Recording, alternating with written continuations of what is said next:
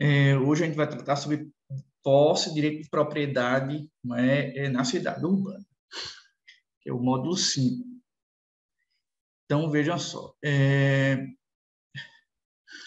Marx, veja só, as questões sobre posse e propriedade, a gente pode muito bem encontrar as pistas né, no, nos textos do Marx, em termos de insights. Não que ele vai certo, elaborar é, uma discussão jurídica sobre posse e propriedade, mas ele vai dar ali elementos para um desenvolvimento crítico sobre o direito. Depois vai ser desenvolvido né, por vários outros autores, sobretudo é, aqueles mais ligados é, às teorias críticas no direito. Mas o interessante é que a gente entender o quê? Que o Marx ele nunca contrapôs a propriedade comum à propriedade individual. É, historicamente, na verdade, é, o, o, proprietário, a condição de proprietário, ele está muito ligada a, ao uso da coisa. Então, a posse, ela é uma, uma disposição do ponto de vista da utilidade. Né? O que Marx ele vai se preocupar é, digamos assim, com a propriedade privada, quando ela é fundada num processo de extração de valor de uso da força de trabalho, gerando né, um mais valor que ele é apropriado por uma pessoa cuja única relação com a produção é ter o meio de produção. Então, é essa crítica dele, que na verdade é uma crítica à própria é, negação da propriedade individual, no sentido de despojar isso do trabalhador. Então, essa é a crítica do Marx e ela vai estar muito bem colocada é, no volume 1 do Capital. Basicamente, nesses trechos aí, conforme aquela edição da Boitempo. Mas ele vai também estar espalhado no volume 2 no volume 3, mais ou menos dessa forma. Então, a crítica dele é a propriedade privada é do ponto de vista do modo de produção capitalista, como a gente viu é, é nas primeiras aulas. Ele não opõe necessariamente a propriedade individual à propriedade é, é comum. Ele não faz essa essa essa oposição. Ela faz, ele faz do ponto de vista é, da apropriação indébita do trabalho a partir do uso da propriedade privada. Então esse é um pouco um ponto nosso é um ponto de partida nosso. E isso implica é, considerar que muitas vezes nós temos uma, uma confrontação entre uma propriedade usufundada, calcada é, num usufruto sem exploração da força de trabalho assalariada, e uma propriedade usufrutuária é, que ela é inserida no processo mesmo de extração de mais trabalho, de apropriação disso pelo capitalista. Um dos efeitos da é, propriedade privada. E isso está esboçado né, nos esboços que ele faz sobre a crítica à economia política, que são enxertos nos, nos, nos nessas notas aí, basicamente. Então, vejam, é, então, esse processo todo, ele envolve uma discussão sobre o direito público e o direito privado. Eu vou passar aqui rapidamente, que não interessa muito para vocês, antes da gente entrar na, diretamente na questão da posse da propriedade. Para vocês entenderem o quê? que o processo de acumulação primitiva que a gente viu na aula passada, ele tem uma, um reflexo na superestrutura ideológica da sociedade. Da mesma forma que o processo de constituição do capitalismo, é, com a separação da posse do trabalho, da formação do dinheiro como equivalente universal, é, da despojamento do trabalhador é, da propriedade, da formação do, do, estoque de metais, da ampliação é, dos processos violentos de acumulação de capital. Da mesma forma que isso ocorreu, isso também vai ser acompanhado por reflexos jurídicos. A reforma protestante, é, a condição da propriedade como um poder, o rebaixamento da posse como um ato meramente de disposição sobre a coisa ou de uso econômico, a separação entre igreja e Estado, é, a formação da ciência do direito, tudo isso acompanha o processo de formação do capitalismo, do ponto de vista é, de, da constituição de uma superestrutura ideológica. Isso implica o quê? Implica a formação da ciência do direito. E a ciência do direito ela é, ela é classificatória. Basicamente, e eu vou ser bem, é, bem sucinto, é, o processo de formação da ciência do direito é um produto do capitalismo ele não é um produto histórico. Né? Claro que o direito e o Estado eles são produtos históricos, no sentido de que eles são fruto da divisão do trabalho e da produção, que geram contradições no processo de produção, classes sociais e interesses antagônicos inconciliáveis entre essas classes, jogando elas numa luta fraticida pelo poder econômico e político. Então, nessa situação, Estado e direito aparece como uma necessidade histórica. Então, ele não é produto do capitalismo. É? Só, todo, toda a sociedade, com essa característica que eu falei para vocês, ela vai exigir a formação de uma estrutura administrativa coercitiva, o Estado, e um aparato normativo, que é o direito. Então, a história nossa, a história é, do sistema jurídico, ela é uma história marcada por uma perspectiva justnaturalista, que vai até o século 19. Né? Essa perspectiva justnaturalista, ela entendia o quê? Que é, haveria fatores inatos em que o sistema jurídico e o Estado deveriam é, obedecer, né? ou seguir. Isso, obviamente, vai variar no tempo. Os romanos achavam que isso envolvia uma força natural. A Igreja Católica, no regime feudal, apontava que isso estava baseado numa lei natural que era interpretada apenas né, pelo papado. E ele mediava a lei dos homens, essa lei natural, uma lei divina.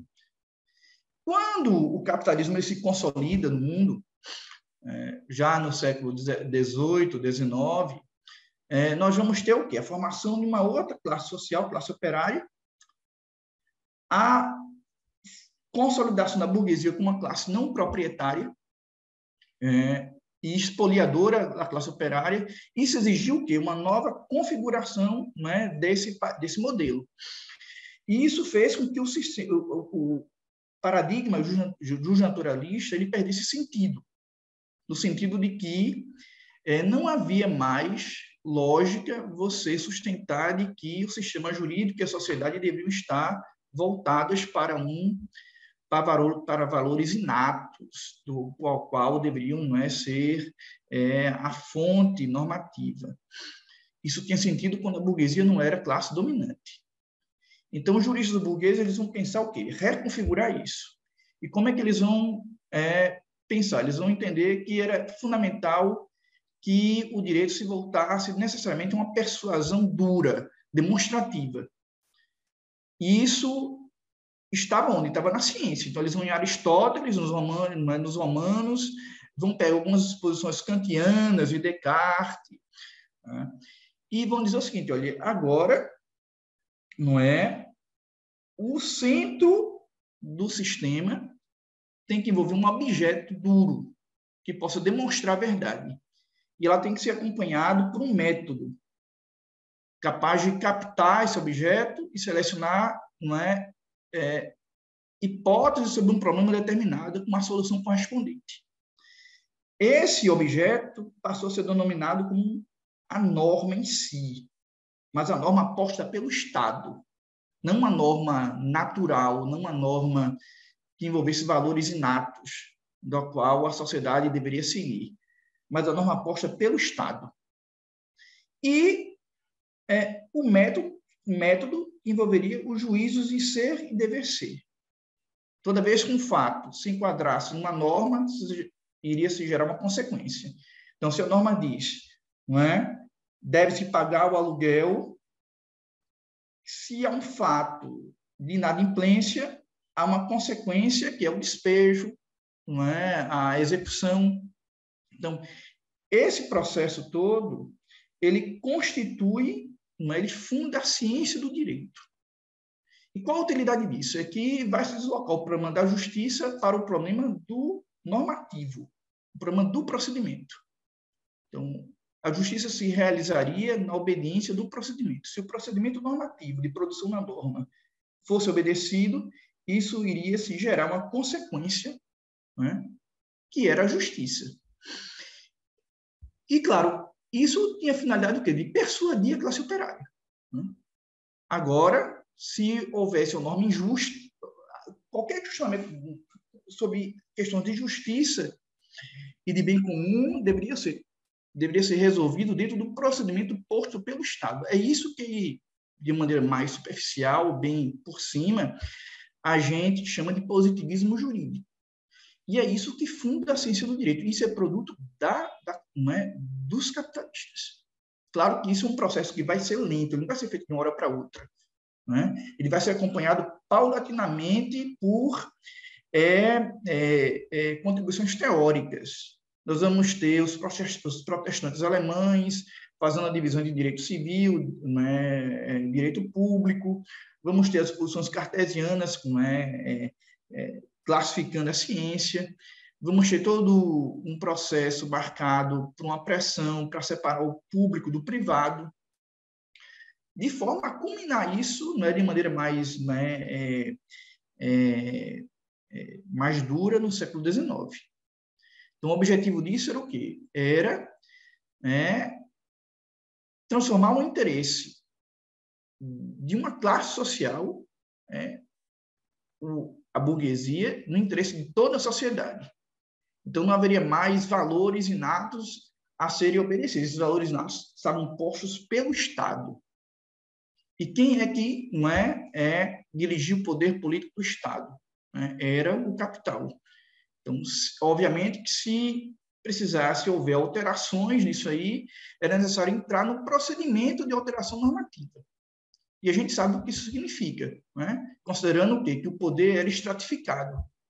Tudo isso também vai ser acompanhado por modificações no, na forma do Estado. O Estado que nós conhecemos hoje é o Estado moderno, é o Estado produto do capital. Embora o Estado, como Estado, existisse não é, há, não é, há centenas de anos, bem antes do capitalismo. Pois bem, então, nessa base aqui, nós vamos ter não é, é uma, a relação entre Estado e mercado, a separação entre posse e propriedade, a separação do trabalhador da posse e da propriedade, seu despojamento da propriedade. Vamos ter não é, a, a, a geração de mais valor a partir da apropriação do valor de uso do trabalho e a constituição do, do individualismo proprietário. A separação entre posse e propriedade ela é fundamental, certo? Por quê? Porque ela basicamente vai é, assegurar a propriedade nas mãos de uma classe que não tem a propriedade de fato. Né? Ora, o grande problema aqui era o quê? Como você tinha uma classe não proprietária, né? os capitalistas que não tinham, não é, usavam uma coisa de maneira direta, no sentido da sua exploração, era necessário criar uma forma de justificar isso. A única forma possível era o quê? Era tentar separar, né? fragmentar a propriedade, né? transformá-la num poder e rebaixar a posse a mero uso e gozo. Então, é, o direito romano ele vai contribuir nesse sentido, né? no sentido é, porque ele vai lançar como pressuposto de que é, a relação de troca entre os sujeitos, ela, digamos assim, ela cria, ela possibilita determinações, digamos assim, abstratas do indivíduo na troca. Ele transforma o sujeito do ponto de vista da troca de mercadoria. Claro que a gente fala o direito humano, a gente fala, né, é, é, digamos assim, o direito lido pela Igreja Católica, o direito romano canônico. Então, a repercussão disso, qual é a repercussão que a gente vai ver mais à frente? É a valorização da forma contratual, né? em que as relações sociais elas permitem a eliminação de barreiras à circulação da mercadoria.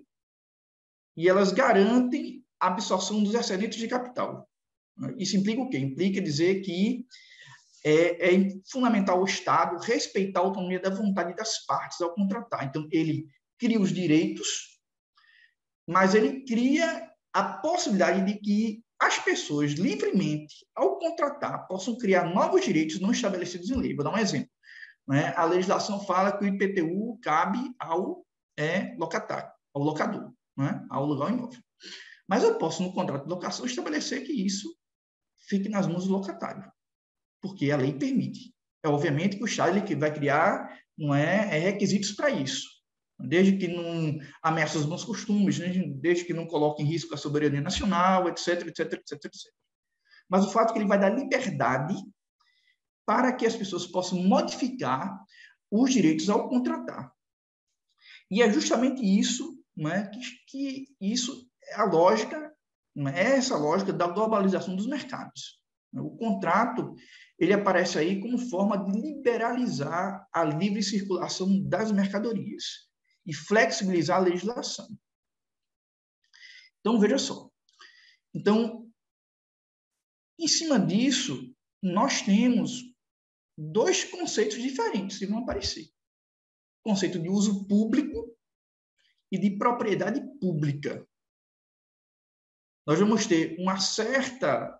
É, nós vamos ter a propriedade privada e vamos ter certos bens que eles não são privados, mas eles são restritos é, à iniciativa eles são, digamos assim, restringidos, desculpem, ao alcance da propriedade privada, no sentido deles poderem harmonizar é, a, capacidade de você extrair mais valor é, constantemente da força de trabalho com situações que possam comprometer é, a reprodução social do capitalismo.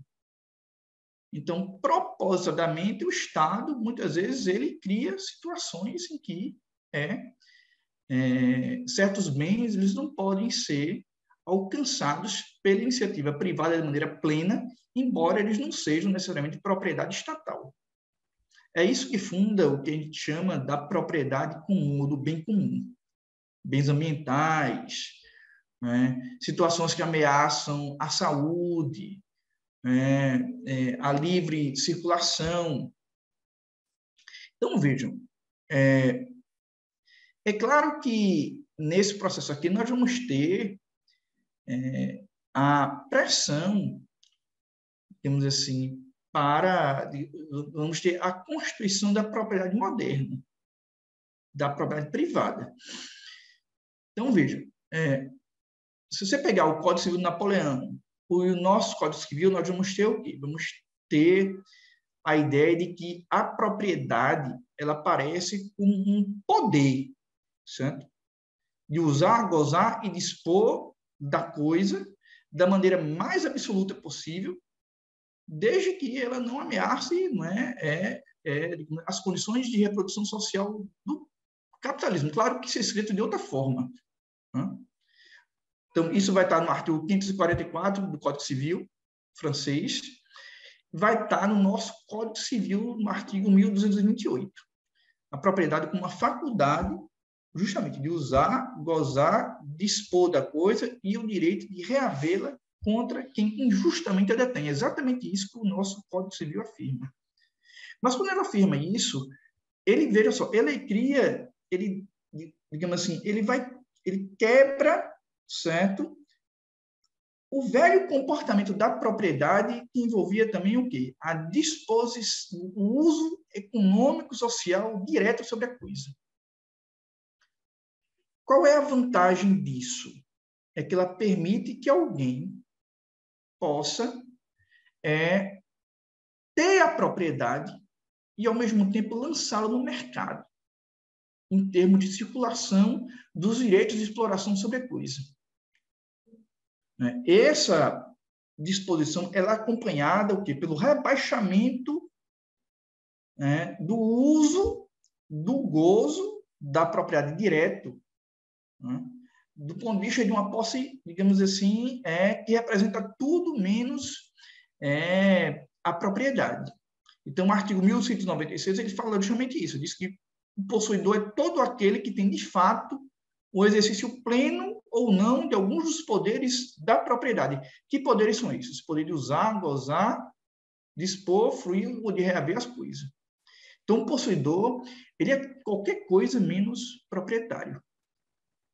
Para alguém ser proprietário, ele precisa enfeixar e todos esses poderes que vocês estão vendo, que eu, eu falei no artigo 1228 é da nosso Código Civil. Isso, obviamente, é o que vai forçar a constituição de um sistema administrativo para assegurar isso, que são sistemas cartoriais. Né? Então, o Estado ele cria os cartórios. Quais são, quais são, qual é a função dos cartórios? É emprestar segurança jurídica às transações feitas, asseguradas por contratos, controlar a propriedade ou é, medir a propriedade e, ao mesmo tempo, o quê? É garantir que o proprietário ele possa usar a coisa, transacioná-la, os direitos de exploração sem perdê-la e ainda não é autovalorizar o capital dentro do sistema financeiro. Então, proprietário passa a ser aquele que tem um contrato de compra e venda registrado no cartório geral de registro de imóveis né, que obviamente que esse, esse registro vai gerar uma escritura e aquele que tiver né, é, seu, sua identidade registrada na escritura é que vai ser considerado proprietário. Quem não tem isso é qualquer coisa menos proprietário. Pode ser um detentor, pode ser um possuidor, pode ser um invasor, né, pode ser um inquilino, mas não parte proprietário ele não é. Qual é a mágica disso? É que isso Basicamente, isso é consolida aquela perspectiva burguesa de que a propriedade agora é um poder exercido por não proprietários. E a posse, na verdade, é rebaixada para, não é? É, no máximo, para, é, para as pessoas despojadas, para a força de trabalho despojada. Ou seja, a separação da posse da propriedade ela é acompanhada pelo despojamento, pela separação do trabalhador da terra e pelo despojamento dele, certo? Da propriedade, relegando ele no máximo um mero possuidor. E é isso que vai permitir que a propriedade circule no mercado como mercadoria. Sim, isso vai permitir um, um, uma espécie, ele vai, ele vai reforçar o que Marx chama de metabolismo social. Então, a propriedade, vocês podem perceber aí, ela vai ser vista como uma ficção. Ela não existe do ponto de vista prático, né? do ponto de vista real. Na realidade, o que existe é a posse. Né? O que é a posse? É o contato com uma coisa, o uso. É você olhar, estar tá no trânsito e olhar alguém dirigindo um carro, captando um terreno. Isso aqui é a posse a propriedade é um, é um mero poder de disposição, que carrega poderes possessórios, poder de usar, gozar, dispor. Mas ela é plena no sentido de, de, de eu poder negociar isso no mercado. Essa, inclusive, é uma das críticas do Anton Mengen, que era um é, social-democrata alemão, que era, inclusive, rival do Marx. Né? Que ele falava justamente o quê? Que ele fazia uma crítica ao Código Civil alemão, é, da época, século XIX, e ele sustentava justamente isso, que ele desfavoreceria as classes mais, menos abastadas, as classes proletárias. Tem uma obrazinha de Menja chamada O Código Civil dos Pobres, onde ele faz justamente essa crítica, uma crítica completa ao Código Civil alemão, e não só as partes em relação à posse e propriedade. Mas veja, a crítica do Marx, ela é mais, é, digamos assim, ela é mais é, é mais dura. Porque Marx ele coloca ele, ele coloca essa separação da posse da propriedade como um despojamento do, da própria classe trabalhadora, dentro do processo de construção da formação da propriedade capitalista. e de que, na verdade, é um metabolismo social que ele se realiza no interior do ciclo do capital. E que ele é dá o que ele fala da metamorfose, ele possibilita a metamorfose das mercadorias. Permite, por exemplo, que é, o deslocamento espacial da propriedade urbana, seu movimento real de um lugar para outro, ele ocorra sem realmente ela se deslocar. Né? Então, eu posso muito bem comprar uma propriedade e arrendá-la, locá-la, estabelecer hipoteca sobre ela, dar em garantia, tentar autovalorizar sem necessariamente que eu venha perder a propriedade pelo fato de eu não usá-la diretamente. Então, isso cria uma série de situações que estimulam a especulação imobiliária. E a especulação imobiliária, vocês sabem que nada mais é do que ela é a autovalorização do capital imobiliário. Então, onde é que entra o contrato aqui? O contrato, na verdade, ele é a forma jurídica que viabiliza que esses direitos patrimoniais façam com que a posse e a propriedade circulem de maneira separadas, como mercadoria. Relacionadas, mas separadas. Muitas vezes o possuidor não é o proprietário. Muitas vezes o próprio possuidor ele se comporta como um proprietário sem ser quando ele subloca ou subarrenda não é, a, a, a posse ou cria direitos sobre obrigações futuras sobre ela, como a gente viu na valorização do capital fictício. Então, veja, a titulação da propriedade aparece aí como elemento principal. Ele é fundamental para a absorção dos excedentes de capital. Né? E é uma finalidade do quê? De permitir a aceleração da circulação da moradia, da moradia como mercadoria, isso trazendo para não é, a nossa esfera aqui. Né? É, seja do ponto de vista da disposição final da, mercad da moradia, seja no seu uso, seja como venda, seja apenas é, é, cedendo os direitos de exploração sobre a coisa sem perder a propriedade. Veja que isso permite um poder do capital sobre a coisa. Nós vamos ter vários insights do Marx apontando isso né, no volume 2 do Capital. Então, veja só. É, é claro que isso aqui, ela, isso vai ter uma utilização infinita. Né? Então, a, a, a, atual fase da financiarização que nós vimos, ela vai impor, ela vai permitir uma extensão do direito de propriedade privada para vários campos, inclusive para os campos imateriais, aumentando a concentração de capital. É, é uma concentração acompanhada o quê? por uma é, expropriação privada dos meios de produção e uma expropriação privada dos meios de consumo, no sentido de permitir que o capitalista ele dê, ele controle valores de uso, ou ele dê, certo, o ritmo é, aos valores de uso. Então, vejam, é, um exemplo disso é, é a multipropriedade a, esse, essa situação ela vai criando é, situações infinitas de formas de propriedade diferentes. Você começa não mais a alugar um imóvel, você compra um edifício e você aluga o tempo de uso dele. Né? Isso é muito comum hoje nesses escritórios de serviço, advocacia, médicos, não mais alugam. Tem um camarada que ele compra o prédio, certo? E aluga o tempo né, de, de, de uso. Então, isso pode ser fracionado. Né? Uma hora, duas horas, três horas, quatro horas. Isso é possível por quê? Porque por conta da formação moderna da propriedade capitalista. Que ela implica o quê? Uma separação entre propriedade como poder e posse como mero é, situação de uso econômico e social sobre a coisa. Que ela é limitada o mero possuidor ele não pode é, dar garantia à posse, ele não pode estabelecer situações ilimitadas como um proprietário pode.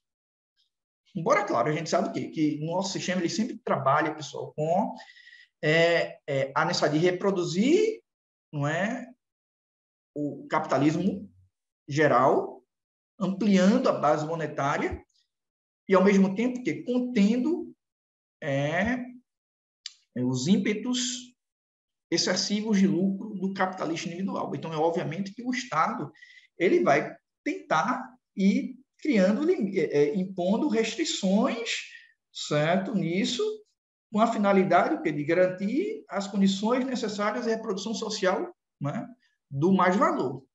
Caso contrário, o sistema entra em, em crise, ele vai administrando a crise.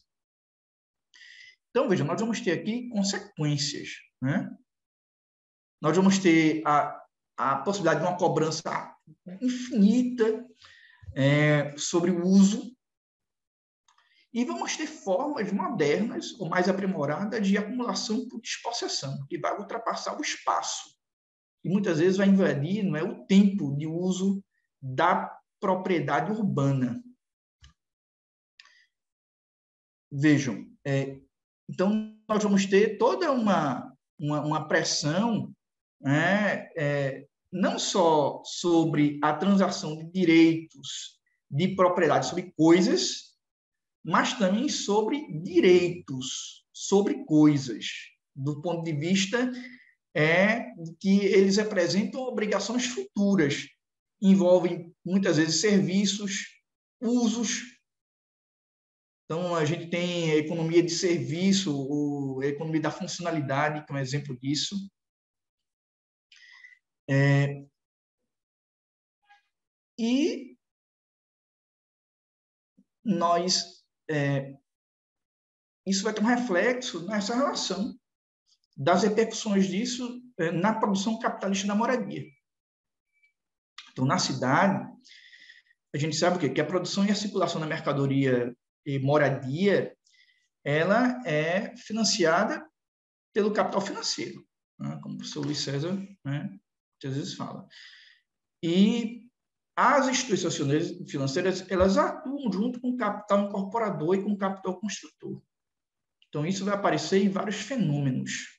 Isso vai aparecer na locação urbana, na hipoteca, na alienação fiduciária, na autovalorização da terra urbana como, é, como capital fictício, na valorização da terra urbana é, e da moradia também pelo próprio capital financeiro na produção capitalista da moradia. É um processo que ele exige essa, ele passa, ele só é possível com essa separação.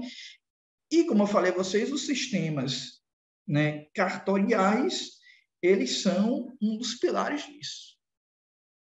Eles aqui permitem, eles atestam essa segurança.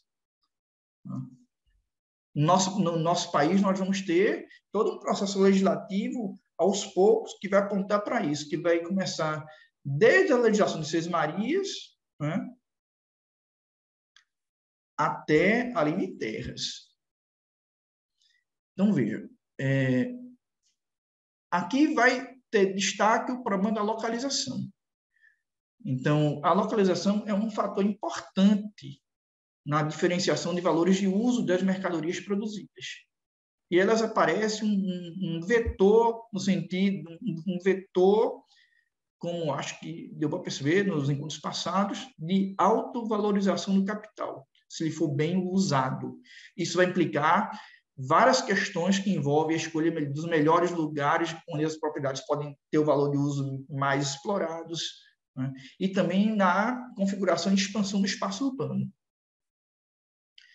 É, claro que esse processo todo ele vai ter pressupostos, certo? Esses pressupostos, eles implicam o, o a, raciocínio metodológico que nós temos seguido, de, que a gente tem seguido desde o início, né, que é o controle e a apropriação do mais-valor por um empresário, e a transformação é do capital investido, em vez de produção em força de trabalho, é, que vai gerar um produto novo né, incorporado né, né, de valor, que é a, a, habitação, moradia, que ela vai circular no mercado como mercadoria. Para se gerar o quê? Para se gerar um mais dinheiro, que é um plus sobre esse mais valor. Esses pressupostos, eles enfrentam limites. Né? Esses limites estão ligados ao quê? Com o problema natural, de, de, aquilo que Marx fala, que a propriedade privada ela é um obstáculo ao próprio capitalismo. Isso vai envolver algumas questões, a questão fundiária e a, a, é, e a capacidade de pagamento do consumidor. Né?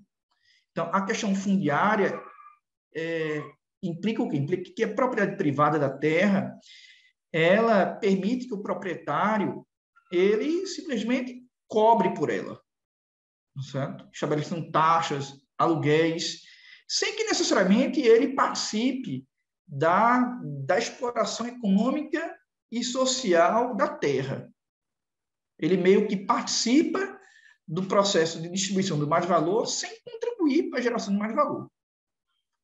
Isso é uma das bases para a gente compreender, como a gente falou na aula, numa das aulas passadas, o problema da renda da terra.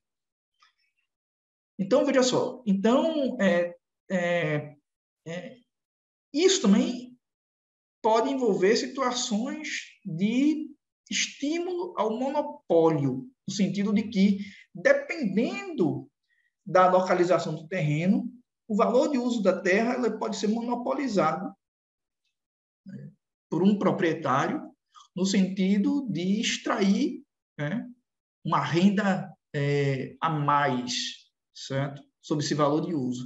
Isso cria problemas, problemas do ponto de vista do Da circulação da moradia como mercadoria no mercado circulação em termos de exploração, em termos de venda, de, é, de aquisição.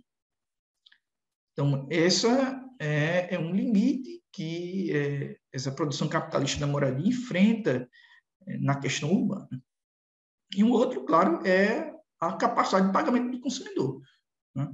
Então, a, a, ideia é que a moradia ela só se realize é, na, dentro das possibilidades do consumo o que ela faz com que ela dependa muito, é, ou seja, relacionada com o poder aquisitivo dos consumidores. E se esse poder aquisitivo ele é certo afetado, isso vai afetar também a circulação da mercadoria. Então, o que vocês podem perceber o quê? Que o capitalista ele vai ser forçado, muitas vezes, a se deparar com várias situações em função da propriedade privada. Dessa mesma, da mesma situação que cria propriedade privada capitalista moderna, ela também cria situações de, é, de entrave à absorção dos excedentes de, do capital. E a gente sabe o quê? Que a absorção desses excedentes de capital, ela também se dá como técnica com, pelo, pela pelo aceleramento da circulação da coisa. Então, isso força é, ao capitalista a despender aquisição em termos de formação de grandes estoques de terra, certo? Ele precisa escolher os melhores terrenos que envolvem valores de uso adequados. E isso vai, e aí vai concorrer muita coisa, proximidade, o tipo de, de capital que está sendo investido aí, certo? é, o, a necessidade do mercado, a proximidade é, certo de daquele, daquele, daquele valor dos valores de uso complexos da cidade, certo? Força ele a negociar com outras classes sociais. E obviamente que a nossa sociedade tem outros estratos, pequenos comerciantes, é, pequenos agricultores, familiares, eles podem muitas vezes ter resistência a ceder, seja o uso, seja né, da coisa, né, seja também é, a, o poder deles sobre a propriedade.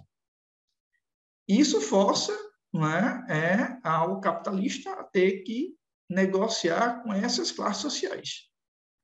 Eles também enfrentam o problema da renda da terra. Né? Porque, veja só, o espaço urbano, como ele, a valorização ele vai depender também dos valores, da escolha adequada dos valores de uso dos terrenos, dependendo da localização, nós vamos poder ter o quê? A situação em que um é, um proprietário ele se, se ver estimulado né, a, a, digamos assim, a obter uma renda não é, é mais qualificada é, da terra. Então, eu percebo que no entorno tem muita construtora e tem pouco terreno. Eu posso chegar lá e ir aumentando isso, porque eu sei muito bem que, que é, a, os, os capitalistas vão estar dispostos a pagar. E isso também é, pá, envolve o quê? Envolve uma espécie de. Veja só, isso acaba também estimulando é, a fragmentação do uso do solo. Isso cria dificuldades para a aquisição de extensas áreas de terra na cidade, né? sobretudo quando a gente fala de grandes empreendimentos. É por isso que muitas vezes há, há várias legislações que tentam limitar é, o parcelamento, estabelecer um parcelamento mínimo. Isso dá o quê? Na perspectiva de garantir a correta circulação da terra na cidade como mercadoria. Estimular o quê? A, digamos assim, a, a geração de mais valor a partir é, de terrenos construtíveis e da moradia. Então, veja, é, e, assim, claro que do ponto de vista do consumo, nós vamos ter também outros obstáculos. Né? Ou seja, situações que possam comprometer a renda. Porque, veja, que, o mercado de consumo é composto por quem? Pela força trabalhadora. O capitalismo, quando ele cria, quando ele libera a força de trabalho, ele também o quê? É, ele, é, ele cria também, ele estimula também um mercado de consumo. O mercado de consumo não é composto, não é composto só apenas pelas classes ricas, mas, é, mas é, é composto, sobretudo, pelo grosso da massa trabalhadora. Logicamente que o que a, a geração de excedentes de trabalho e de desemprego eles podem comprometer a capacidade de pagamento dos, dos consumidores. E também a depreciação de salários. Então, veja, é aquilo que eu falei para vocês nas aulas anteriores. As próprias relações de capitais de produção, elas criam efeitos colaterais que elas mesmas criam barreiras ao seu plano de desenvolvimento. E isso, obviamente, vai impactar o quê? É, na diminuição é, da absorção de excedentes e da geração de mais valor. A resposta disso é sempre, é, é sempre em cima de quê? Aumentar a taxa de exploração da força de trabalho. Seja a nível interno, quando isso é possível. E quando isso não é possível, não é conveniente a nível interno, isso é feito fora né, é feito em áreas distantes, na periferia. Isso que ocorre né, entre os países ricos e os países é, da periferia. Eles transferem a, a apropriação indébita do trabalho alheio né, para a África, para a América, certo? para a Ásia, assim vai. Então, veja, é, quais são as soluções que são adotadas para enfrentar isso? É, aquele livro do professor Luiz César sobre os cortiços, está no capítulo 3, ele fala muito bem, não é? é, é isso acaba envolvendo descontinuidade da da moradia no tempo e no espaço. Né? Existe, isso desestimula a industrialização do próprio processo de produção de moradia. Nós vamos ter o estímulo um capital intermediário, incorporador, cujo objetivo dele é o quê? É aparecer como agente na produção é, comprando terras, disponibilizando isso, estabelecendo os melhores locais para investimento, meio que administrando né, ou guiando o capital produtivo. E o fortalecimento de um sistema de crédito e das instituições financeiras para, é, digamos assim, é, amainar o problema é, da, do pagamento dos consumidores. Então, você chega e consegue financiar uma casa por, certo? por dezenas e dezenas e dezenas de meses. E isso, obviamente, é, facilita o quê? A acumulação de capital e a circulação da mercadoria, é, a, a, circulação da, da moradia como mercadoria. É, veja só, tudo isso vocês podem encontrar de maneira muito bem aprofundada no capítulo 3, que eu deixei aí, não é, na, aqui nos slides, eu vou disponibilizar para vocês. O que eu queria chamar a atenção é para um, outro, uma, um outro problema aqui, né?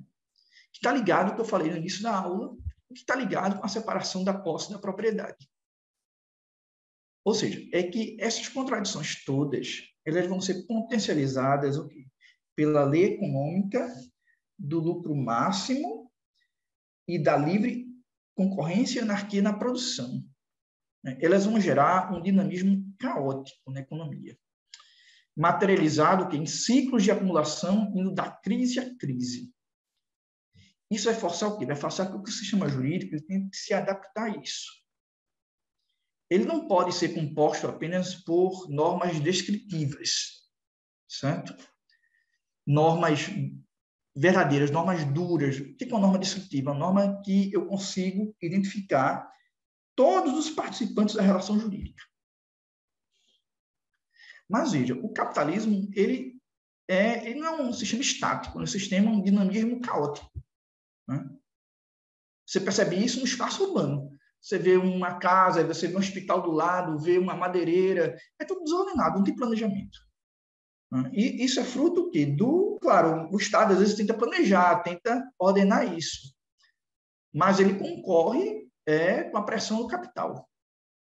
Eu quero dizer que isso força a construção de certas normas falsas ou normas programáticas é, em que é, elas não descrevem exatamente uma realidade, elas estabelecem um programa a ser alcançado. Tipo, a Constituição da República Brasileira fala que um dos objetivos da República Federativa do Brasil é assegurar a dignidade da pessoa humana. Veja que é uma norma abstrata. Ela não descreve nada. Ela mesmo não significa nada.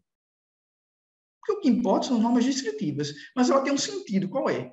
É estabelecer um método na captação da norma descritiva. O juiz, ao julgar uma decisão, ele vai procurar o que? Dentro das normas descritivas, aquelas que melhor asseguram o princípio da dignidade da pessoa humana. Mas veja, mas essas normas programáticas, elas são, é, é elas são é, valorativas. Elas têm um forte conteúdo ideológico, que elas só podem ser determinados, só podem ser determinados no caso concreto, quando uma pessoa tem um interesse lesionado e resolve levar isso ao judiciário. Ou o parlamento, ao editar uma norma, um parlamentar, ele vai buscar, né, ao fazer uma propositura legislativa, aquela que melhor segura esses princípios. Ou seja, na prática, é, eles são, na verdade, topos retóricos. O que é topos retóricos? São argumentos de forte carga universalizadora, onde elas permitem a universalização de um interesse relativo em um interesse universal. Permite que o interesse, nessa fala aqui de Fernando Joaquim, seja apresentado como interesse de todos. Então, eu lastreio isso na dignidade da pessoa humana, na solidariedade, na justiça social, mas o direito não tem nada a ver com isso. O direito é uma relação é vetora, o objetivo dela, o quê? dele o quê? Proteger outras relações sociais. É proteger e reproduzir o quê? Relações democráticas, é, matrimoniais, de produção, e assim vai. É, ele não tem nada a ver com justiça comum. A justiça comum, ele aparece o quê? como forma de eu dar legitimidade às normas descritivas. É, por quê? Porque a sociedade ela precisa de um consenso. Essa história de ditadura de uma pessoa só, de partidos. É, isso é uma ilusão. Né? Nenhuma, nenhum poder ele sobrevive sem adesão interna. Quando os americanos, por exemplo, saindo um pouco, eles resolvem invadir o Iraque, eles não vão chegar lá e vai dizer assim, olha, eu preciso assegurar o controle das rotas de petróleo, não. Eu preciso assegurar a civilização, eu preciso assegurar não é, a paz social, a democracia. Por que eles levam isso? Porque eles precisam de apoio interno. Nenhuma mãe vai deixar um filho ir para uma guerra por conta de um poço de petróleo. Isso é muito óbvio. Então, o direito ele trabalha com isso. Então, quando ele faz isso, ele procura o quê? Lastrear um interesse relativo de uma classe social no interesse universal. É essa função dessas normas, não é meio falsas, não, esses, esses preceitos. E isso tem um problema objetivo. É o problema que o sistema ele se comporta de maneira caótica e eu não consigo prever todas as situações. Né? Então, veja, então isso aqui gera consequências jurídicas. Qual é a consequência jurídica? É que eu preciso de flexibilizar o sistema normativo. E a característica do sistema normativo na modernidade, ela é essa flexibilidade incorporada pela principal contribuição do direito romano canônico, que são os contratos. Os contratos, eles vão disciplinar o quê? Vão disciplinar uma relação jurídica que, que na verdade, é vetora de uma relação de produção. Uma relação de troca de mercadorias estabelecidas pela livre vontade entre duas ou mais pessoas. E para isso é fundamental assegurar a autonomia da vontade dos particulares, autonomia que deve ser reconhecida pelo Estado, capaz de criar novos direitos não previstos em lei, mas reconhecidos pelo Estado. Isso é fundamental o quê? Para permitir é para se tentar driblar ou contornar essas barreiras que eu falei ainda há pouco. Ou seja, eu é, dou a liberdade das pessoas venderem, comprarem, explorarem economicamente a coisa dentro de um certo quadrante, sem que eu interfira, sem que o Estado interfira. É, os contratos significam isso. Isso é algo que a gente não deve subestimar. Né? Os contratos, eles são formas também de assegurar processos de acumulação por dispossessão. Por quê? Porque os contratos eles envolvem contradição. Né?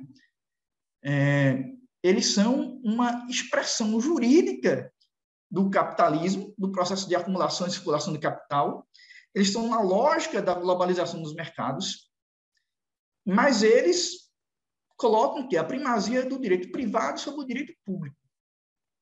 Que é isso que acontece. A gente foi educado, ensinado nas escolas de direito que o direito público muitas vezes ele atua, não é, é restringindo o direito privado, mas isso não é, é uma ilusão. Na verdade, o direito público ele atua é, apoiando o direito privado, procurando proteger e reproduzir as relações capitalistas de produção de maneira global. Então, é, são os contratos que vão instalar isso, essa divisão entre direito público e direito privado, e eles vão representar o quê?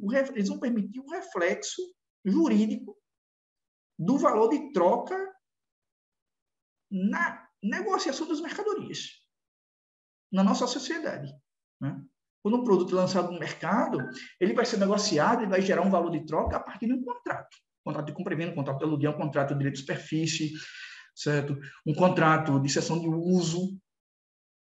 Mas ele vai também envolver uma relação, ele vai também esconder uma relação, ele vai, digamos assim, é, manifestar uma relação aparente, certo?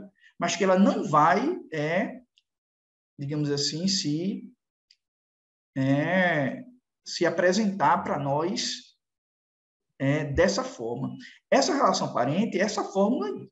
Né? O produto vai envolver uma produção simples de mercadoria, de valores de uso destinados a um tipo de consumidor, né? que ele vai chegar no mercado com um valor X, já com um base valor, né?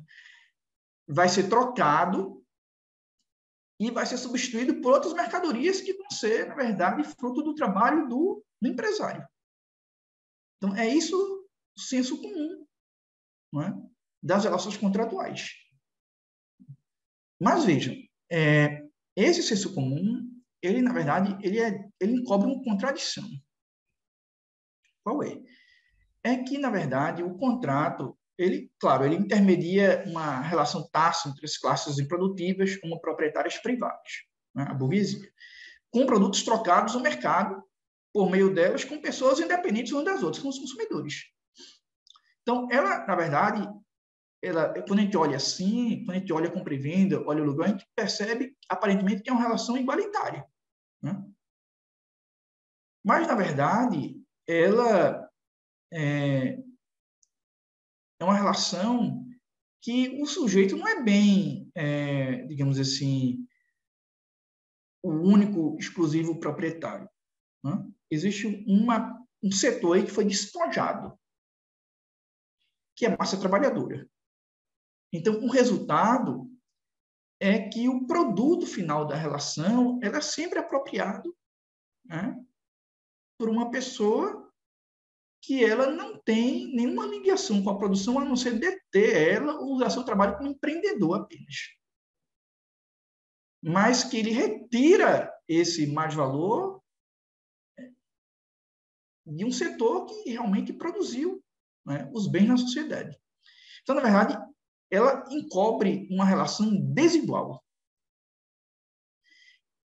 O que eu quero dizer, o contrato ele aparece como uma máscara, como um fetiche, em que as pessoas acham que elas certo, negociam livremente, de forma igual, mas o resultado sempre é um resultado desigual, em que o mais valor, valor de uso a mais, né, é apropriado por uma pessoa e fica com ela, né? pelo capitalista. É, o valor de uso, esse mais valor, que a gente chama, ele é gerado pela força de trabalho e apropriado para alguém que não pertence à força de trabalho. Então, esse é a grande, o grande fetiche que o contrato faz. E é um fetiche ideológico, no sentido de que ele não é, apresenta uma situação como se ela fosse, digamos assim, a verdade absoluta e quando ela não é. Né? O processo produtivo ele é marcado, ele incorpora, ele, ele incorpora. Né? Já quando a, a moradia vai para o mercado, o valor de uso da força de trabalho. E esse valor de uso, no final, quando a mercadoria é vendida, ele, ele gera um plus, mais dinheiro, que ele é apropriado pelo capitalista e ele está, logicamente, vinculado à produção, à circulação e à acumulação de capital. Então, qual é a função do contrato aqui? O contrato ele tem a função de evitar paralisações ou perturbações no ciclo de valorização do capital. Então, se eu, se o contrato é marcado pela autonomia da vontade, o Estado reconhece a autonomia da vontade das pessoas em criar direitos, é lógico que o contrato ele vai ter um poder muito grande de evitar paralisações ou perturbações no ciclo de valorização do capital. Principalmente quando a gente percebe que nossa sociedade é uma sociedade desigual, em que é, se, quando você entra na negociação, você, você entra geralmente de maneira desequilibrada. Imagine um trabalhador que ele é demitido e ele é forçado é, é, a fazer qualquer acordo porque ele precisa comprar o pão dele amanhã ou depois e ele não pode esperar certo? É, é, a vontade do capitalista de pagar o que ele quer. Mesmo quando ele, se ele vá ao judiciário, o tempo concorre contra ele. Então, é uma relação desigual. A, próprio, a própria diferença de poder econômico entre o trabalhador e o detentor de produção permite que o tempo é, concorra muito mais a favor dele do que é a favor do trabalhador, mesmo em outras relações de consumo. Então, nem o consumo, nem a venda da mercadoria, na verdade, elas a questão é que elas não podem ser restringidas ou interrompidas, por quê? Porque, veja só, o consumo e a venda da mercadoria, moradia, elas são fundamentais, a aceleração disso, para a absorção dos excedentes de capital. Caso contrário, o capital se desvaloriza. Então, o quê? É, então, isso não pode ser restringido, nem interrompido. Isso não pode ser restringido nem interrompido, por quê? Porque o, o resultado final disso vai gerar o quê? Vai gerar um mais valor que, vai, deve, que deve ser reinvestido na produção, em termos de meios de produção e força de trabalho, para gerar novos produtos que vão ser levados ao mercado como mercadoria para se gerar é, um, mais dinheiro, um plus ou mais valor.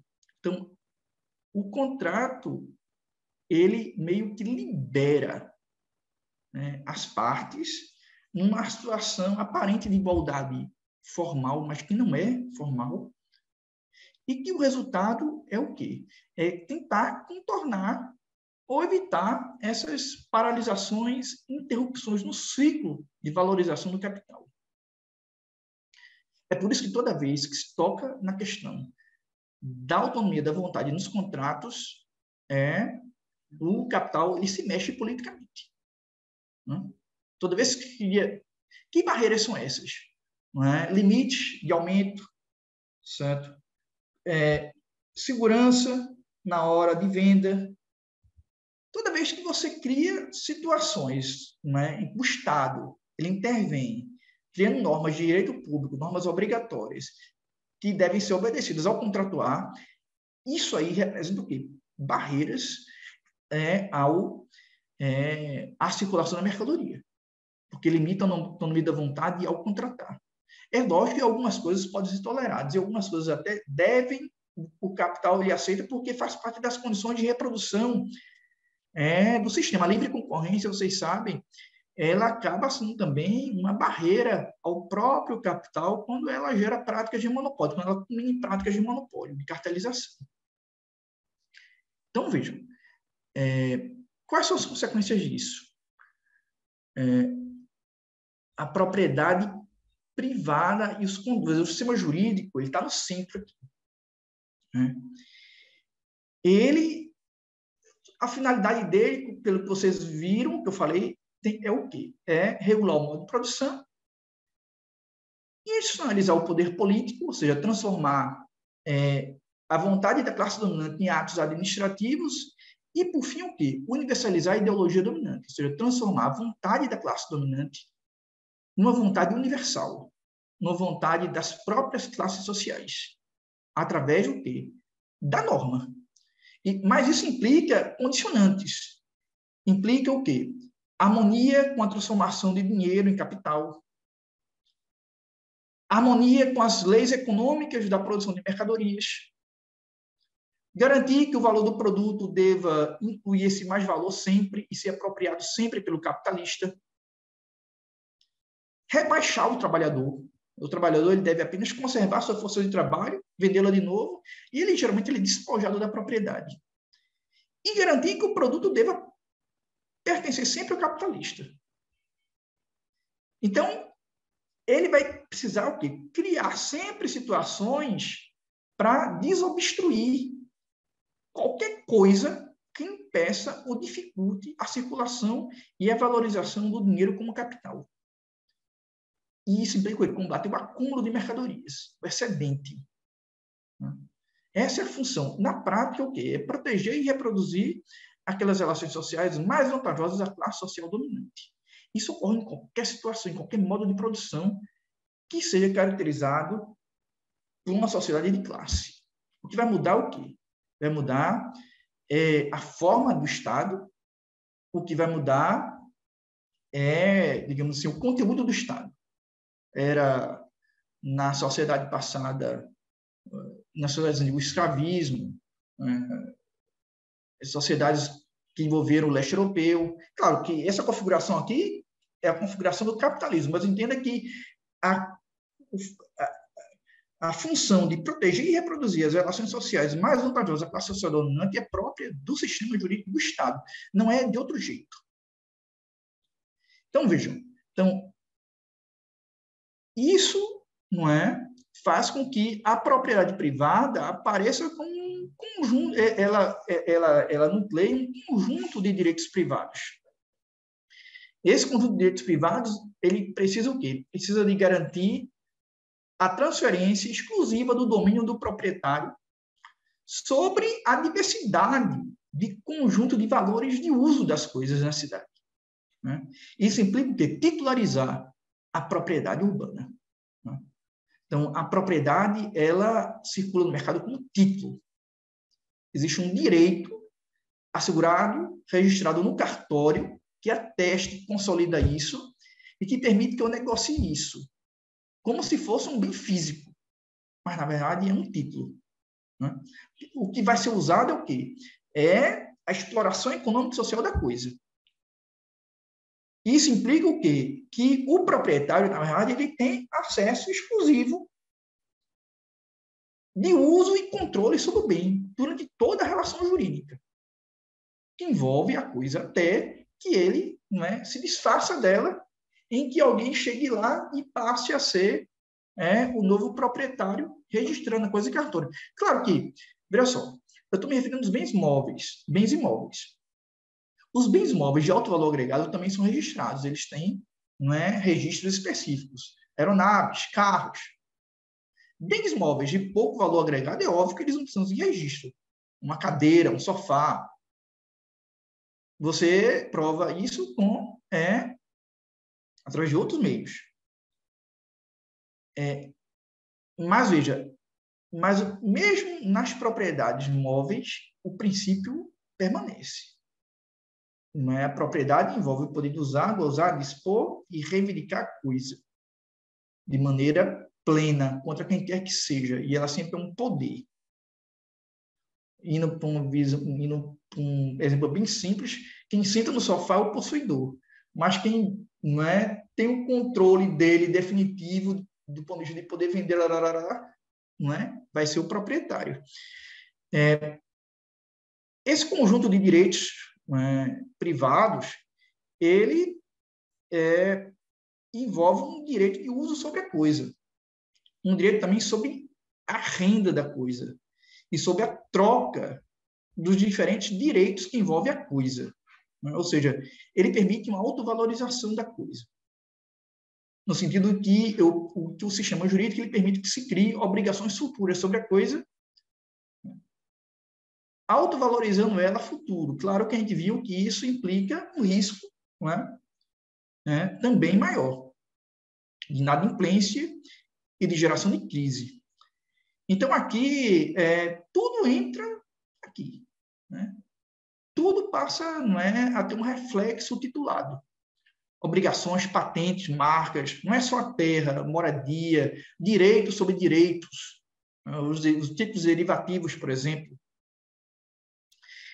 é, e quais são as consequências disso? As consequências é que é, a própria propriedade privada capitalista ela acaba gerando novas formas de, é, é de manifestação da autovalorização do capital, como a gente cansou de dar exemplos aqui. E envolve também uma, uma sobreposição de direitos sobre o mesmo espaço.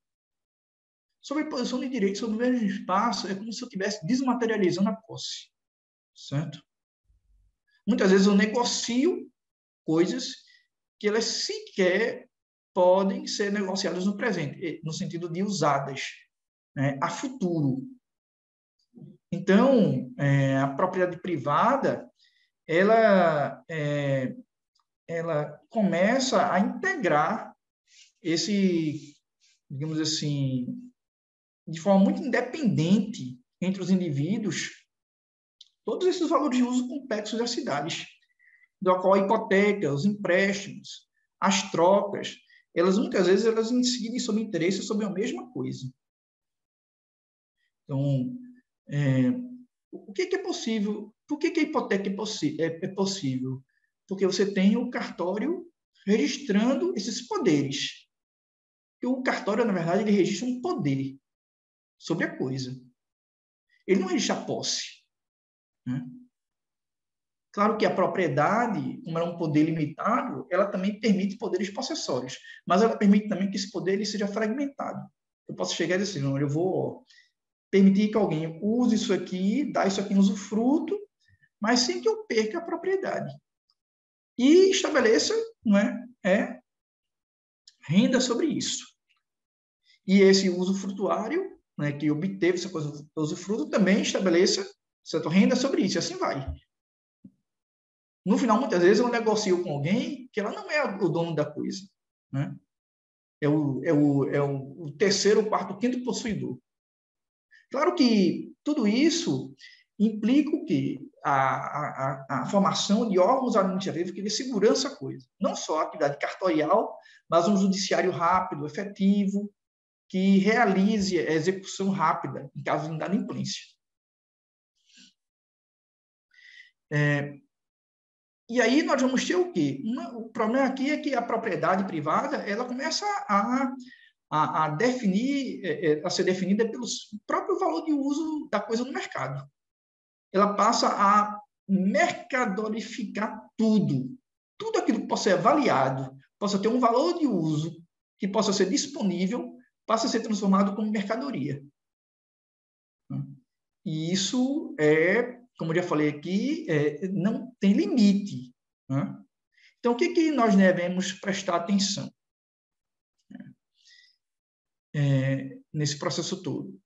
Nós temos que prestar atenção de que, na autovalorização do capital, divisão de posse, propriedade e posse, ela é produto da modernidade e ela é fundamental. Sobretudo é, na cidade. Os contratos eles são peça essencial nisso. Né? Os pactos entre as pessoas, reconhecidos pelo Estado, que não é qualquer pacto, você não pode pactuar objeto ilícito, por exemplo, eles são, eles representam o valor de troca, ou eles permitem ou garantem o valor de troca nas mercadorias. E isso é, passa por uma negociação de relações de poder, porque a propriedade ela é um poder sobre a coisa, ela não é a posse, né? mas ela permite que eu possa, como já falei aqui, é, negociar direitos de exploração sobre a coisa. Como se eu mantivesse a disposição final do bem sem perdê-lo e alguém pudesse explorar economicamente é, me pagando alguma coisa.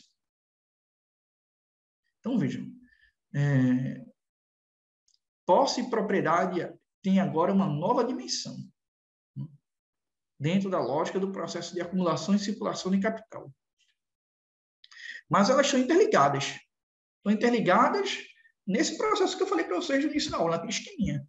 Você tem um empresário que entra com capital inicial, né, o, compra é, recursos, aplica a força de trabalho e meio de produção nesses recursos, gera um produto um valor né, é, de uso a mais, porque nesse processo todo ele vai ter que mobilizar né, a força do trabalho e vai lançar esse produto no mercado como mercadoria é, já com mais valor embutido para obter um mais dinheiro, um plus sobre esse mais valor.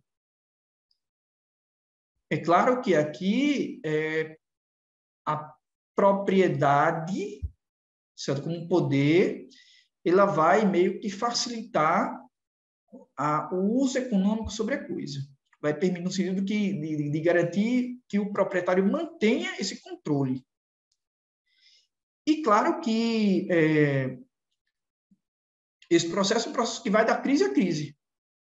A acumulação de capital ela se torna meio de nova acumulação de capital. É a única resposta que o capitalismo tem né, para resolver o problema dos excedentes de capital. Então, ele tem que criar formas de autovalorizar o capital ou criar formas de desaguar os excedentes.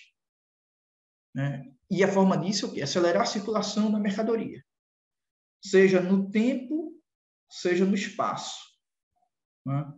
E aumentar é, a taxa de exploração da força de trabalho, aumentando a jornada de trabalho, reduzindo é, os salários, é, criando é, engenhocas tecnológicas que reduzam a atividade laboral a apertar botões e aí ele dispensa ou resolve o problema da qualificação da mão de obra, né?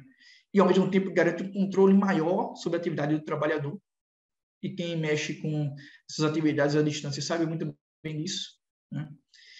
Então, veja, é, então, isso tudo só é possível né, com. Ele faz parte do processo. Esse processo todo, está ligado ao processo de acumulação primitiva do capital e ele, na verdade, é uma espécie de é, redimensionamento da acumulação de, despossessão. Ela está dentro da lógica da acumulação por despossessão.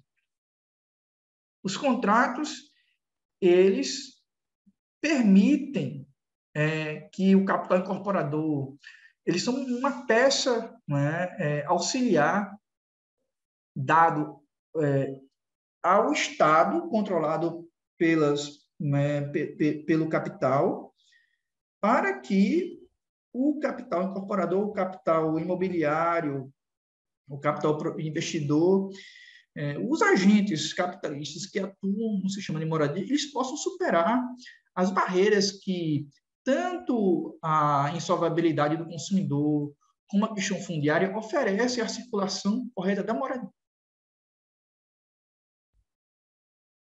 Lógico que vez com a classe social, as classes, qual é a, a, a estratégia das outras classes sociais?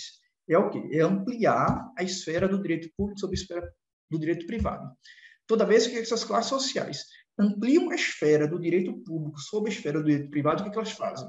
Elas reduzem a autonomia da vontade e criam dificuldades para que o contrato cumpra sua finalidade. Então, quando eu amplio os bens comuns, amplio a propriedade usufundada, né, crio é, exigências para que o capitalista elabore contratos, crio situações em que o, capital ele precise, é, digamos assim, registrar isso. Eu estou criando dificuldades na aceleração da circulação da mercadoria. Então, é um espaço também o que de é Então, veja, isso aqui vocês podem encontrar é, no texto de Pierre Dardot, é, é o comum, é o ponto 6 e a proposição 2, certo? Não precisa ser o livro todo, não. Tem o, né? No índice, vocês vão no ponto que eu não coloquei aqui, mas quando eu for mandar para vocês, eu vou corrigir. Ponto 6 e a proposição 2. Nos te, no, tem um texto do professor Luiz César, que é o capítulo 3, que eu recomendo que todos leiam, né? é, que permite compreender isso também. É, e é, volume 1 e volume 2 do Capital e os rascunhos de Marx sobre os, sobre os manuscritos, eles oferecem alguns insights. Vocês não vão encontrar essas teses em livros de direito. A gente sabe que os manuais de direito eles são manuais que eles naturalizam é, uma percepção liberal sobre a circulação da propriedade. Né?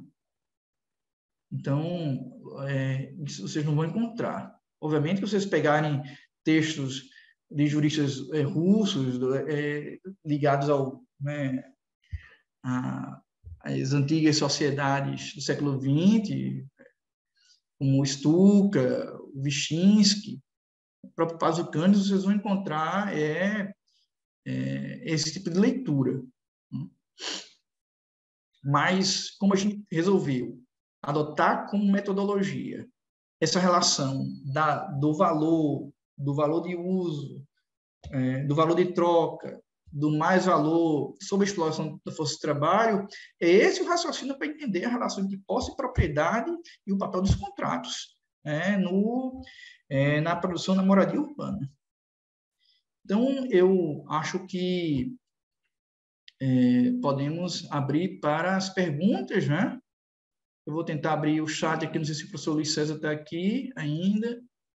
É, Estou sim, eu, Fernando, mas, enfim, como eu fiquei, acabei ficando aqui, mas eu tive que ficar resolvendo sim. questões assim emergenciais, então também não fiz uma um monitoramento do chat. Entendeu? Eu vou ver aqui agora.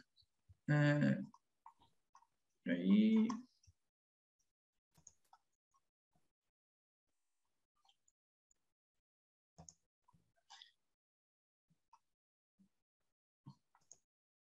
Bem, pessoal, acho que como tem promoção, a gente poderia abrir os comentários, né? Os debates.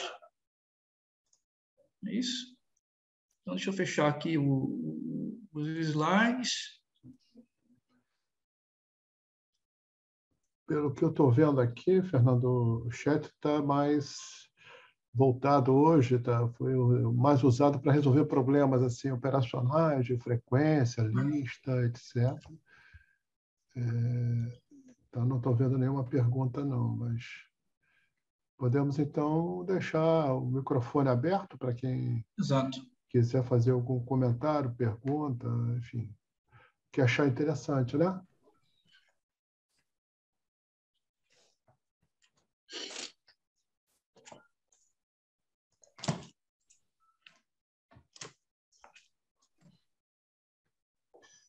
Aqui, ó, tem uma pergunta aqui, Fernando, da Ana Beatriz. Você quer ler aí? Porque é mais, mais fácil você ler diretamente. É, aqui. Tendo em consideração o desmembramento da propriedade entendida como conjunto complexo de relações legais, conforme apontado pelos autores e dos contratos, é possível afirmar que os instrumentos jurídicos políticos da Constituição Federal e do Estatuto do Estado, por exemplo, estão desatualizados ou insuficientes para para os fins que foram criados. É, eu vou, pessoal, eu acho que assim o, o direito ele ele ele, ele ele é marcado pelas tensões que ocorrem na sociedade, ou seja, pela luta entre as camadas sociais. Então é óbvio que tá, é, é óbvio que no geral o sistema jurídico ele tem não é uma ele, ele aparece como é, meio de reprodução dos, é, das relações sociais mais vantajosas à classe dominante. Mas é lógico que nesse processo todo, você vai ter normas que refletem interesses de outras camadas sociais. E, nesse sentido, são avanços. Não dá para achar que o Estatuto da Terra ele representa não é, esse sentido. Mas é, é lógico que é, a natureza é, da, da norma ela é uma natureza de conservar status quo. Então, na verdade, é, são, digamos assim, é, estádios na luta social. Representam tudo, é? menos o objetivo final, é? que é, digamos assim, o, digamos, o desmonte das causas que leva à exploração da força de trabalho. Então, é um espaço que deve ser ocupado, preenchido né, e avançado. Mas ele tem suas limitações e, e tem suas contradições. Né? Então, assim, não é que eu acho que ele esteja bem desatualizado, é no sentido de que, veja só, o capitalismo, ele, o modo de produção capitalista, ele se comporta de forma muito mais rápida que o sistema jurídico.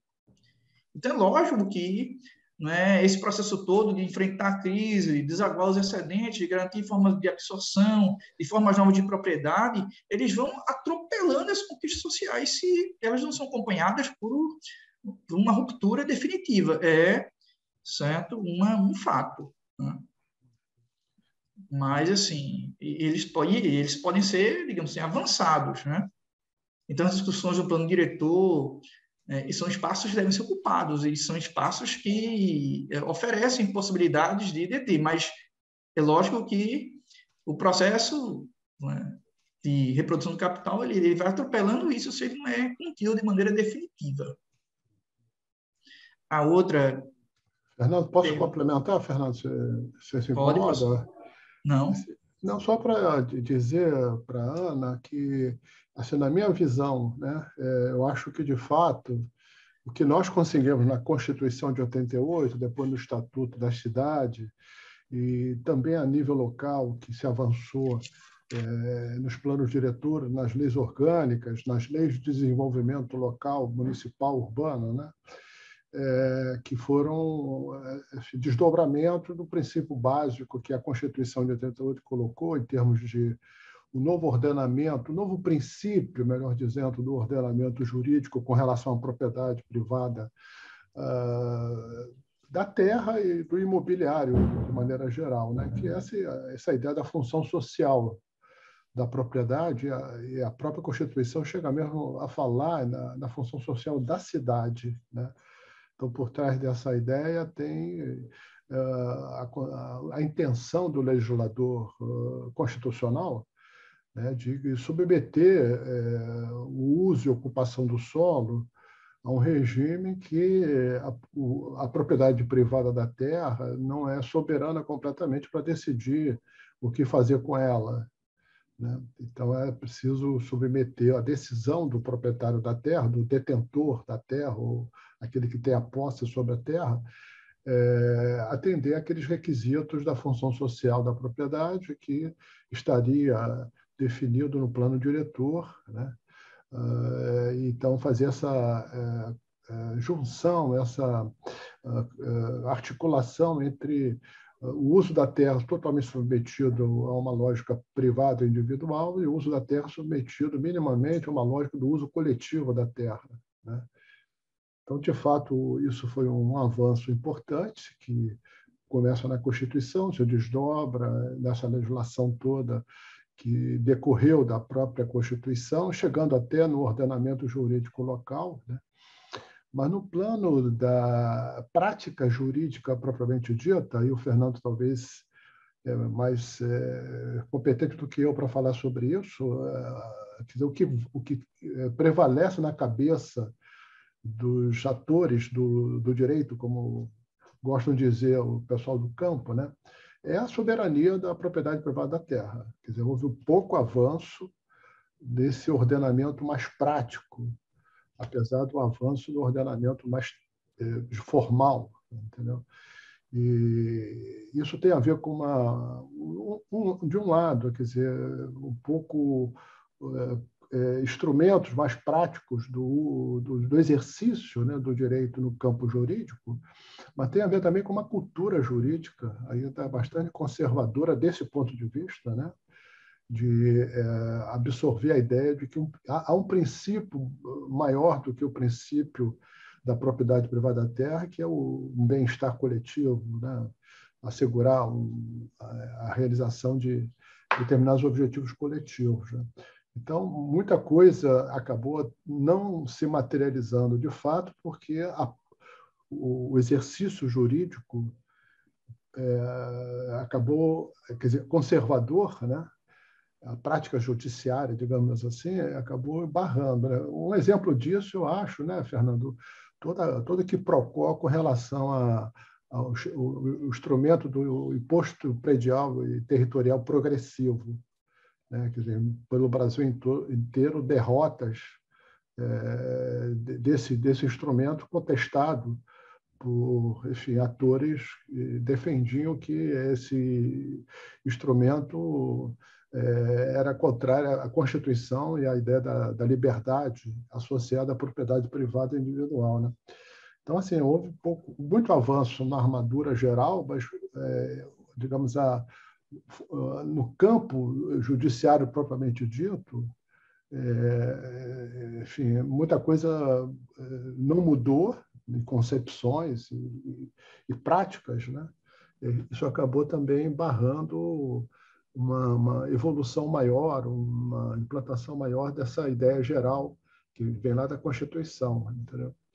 E, ao mesmo tempo, então, eu diria assim para Ana, o Fernando, quer dizer, é, é, tem muita coisa ainda para ser transformada, aperfeiçoada, para que essa, essa visão é, possa prevalecer na prática, não apenas no ordenamento jurídico. Né? Isso é preciso mudar o judiciário também, é preciso mudar as concepções práticas do, dos atores da, da, da lei. Né? É, então, realmente ainda tem coisa para fazer. o pessoal de São Paulo tentou até ir nessa linha, quer dizer, pessoal do movimento social, enfim, quem defende essa concepção, né? fazendo até cursos com é, atores do direito, atores da justiça, para mudar a concepção, porque para eles isso é, é, é, sagrado, né? dizer, o princípio da propriedade privada da terra. Né? E, ao mesmo tempo, acho que também tem um outro lado que é, é importante lembrar aqui a esse respeito, que é o que está acontecendo em termos de atualização desse ordenamento, mas aí não mais do ponto de vista de afirmar esse princípio da, do, da, do bem-estar coletivo como regulador do uso da propriedade privada da terra, mas agora ao contrário, né, de tentar fazer com que o, regulador do uso da propriedade privada da terra seja o regulador do, do mercado. Né? Isso implicando, inclusive, é, inclusive novas, form, novas formas de constituição da propriedade privada da terra, desse ponto de vista, do ponto de vista de usar a terra como mercadoria, né? que são esses fundos imobiliários que expressam isso, né? que você não precisa ser proprietário do bem material para ser proprietário da terra ou aceder à, consequência da propriedade da terra, que é a renda. Né? Você pode ser um cotista de um fundo né? é, você não está atrelado a nenhuma terra especificamente e materialmente, mas você, através desse sistema, você é proprietário da consequência do uso da terra em termos econômicos, né? É, participando da distribuição da renda que o uso econômico da terra gera, né? em termos de lucros das imobiliárias é, de diversos segmentos. Né? Essa é uma inovação muito importante que vai na outra direção, no caso. É a direção de afirmar a propriedade privada da terra uh, nessa lógica da prevalência né, do uso econômico da terra como base do exercício do direito de propriedade. Entendeu? Não sei se o Fernando concorda comigo, a gente não combinou nada é. sobre esse ponto, entendeu? Mas eu acho que aí tem uma os fundos imobiliários eles expressam uma outra frente que é a, quer dizer, em relação à frente anterior, quer dizer que é o, a propriedade da terra versus é, o bem-estar coletivo. Né? Aqui é a propriedade da terra versus o uso econômico da terra. Né? Então, ele tem um avanço aí, e, ao mesmo tempo, outra, outras iniciativas que vêm acontecendo no Brasil para tentar é, reformar o direito de propriedade para torná-lo mais ainda adaptado à lógica do uso econômico da terra como princípio básico. Entendeu? Não sei se o Fernando concorda comigo, Fernando. Concordo, professor. É assim, é, é, é, é isso que o professor falou. Essa questão da, é, da possibilidade de superar essa, essa lógica instrumental do direito dentro do, nosso sistema, como foi colocado aí, é, tem um pouco a ver com o que o professor falou. É, o problema é o seguinte, o, o, sistema jurídico, ele, ele é uma tecnologia social, sabe? Ele não tem a função de, de realizar é, bem comum, não é a função dele. Essa é uma aspiração das parcelas né, é, historicamente é, exploradas da sociedade. Porque nós vivemos uma sociedade de classes, marcada o quê? por contradições no processo de produção, por interesses antagônicos entre as classes sociais. Estado de Direito aqui, eles apare... o Estado aparece como um aparelho de escravização, de dominação de uma classe por outra.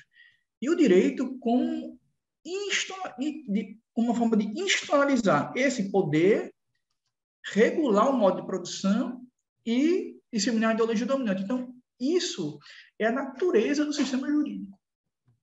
É, isso é aqui, pode ser em qualquer situação, mesmo até mesmo fora do capitalismo. Essa é a lógica é, desses aparatos de reprodução de outras relações sociais. O que muda é apenas o conteúdo. Né? O conteúdo a partir do interesse né, de uma camada exploradora da sociedade ou o conteúdo a partir da camada explorada. Uhum. E é bom lembrar o seguinte, que o grande problema quando a gente trabalha com essas questões de bem comum é que é, assim, a natureza do sistema jurídico é privatista é a essência dele. Então, assim, é difícil ele internalizar normas não é, difusas, coletivas e de bem comum. Uhum. É? Mais que você é, é, inclua isso na Constituição, isso representa um avanço. Mas a natureza, certo, da reprodução, da extração de mais valor, ela força a uma supremacia do direito privado e do direito público. É, o, a gente percebe isso é, nos tipos de normas. Né? As normas, as, formas de, as normas de carga forte são as normas descritivas, são aquelas que regulam conduta exata. Normas programáticas, elas são normas de natureza fraca, porque elas não é, é. digamos assim, elas não descrevem exatamente o conteúdo, elas não conseguem, é, digamos assim, é, elas, elas não é, mexem, certo, exatamente nas relações jurídicas, nas relações sociais. Então, elas acabam aparecendo como preceito. E como é, o nosso ordenamento ele tem forte conteúdo privatista, né, e como essas normas preceituais e normas programáticas, elas aparecem, elas, a sua aplicação depende do caso concreto, O Estado, quando vai aplicar isso, ele vai aplicar a partir da natureza privatista. É por isso que o Supremo, como a colega bem falou, ele esvaziou o conceito de função social da propriedade, claro, né? porque é, é, ele vai aplicar isso no caso concreto, e quando ele vai aplicar isso no, no caso concreto, ele vai considerar o quê?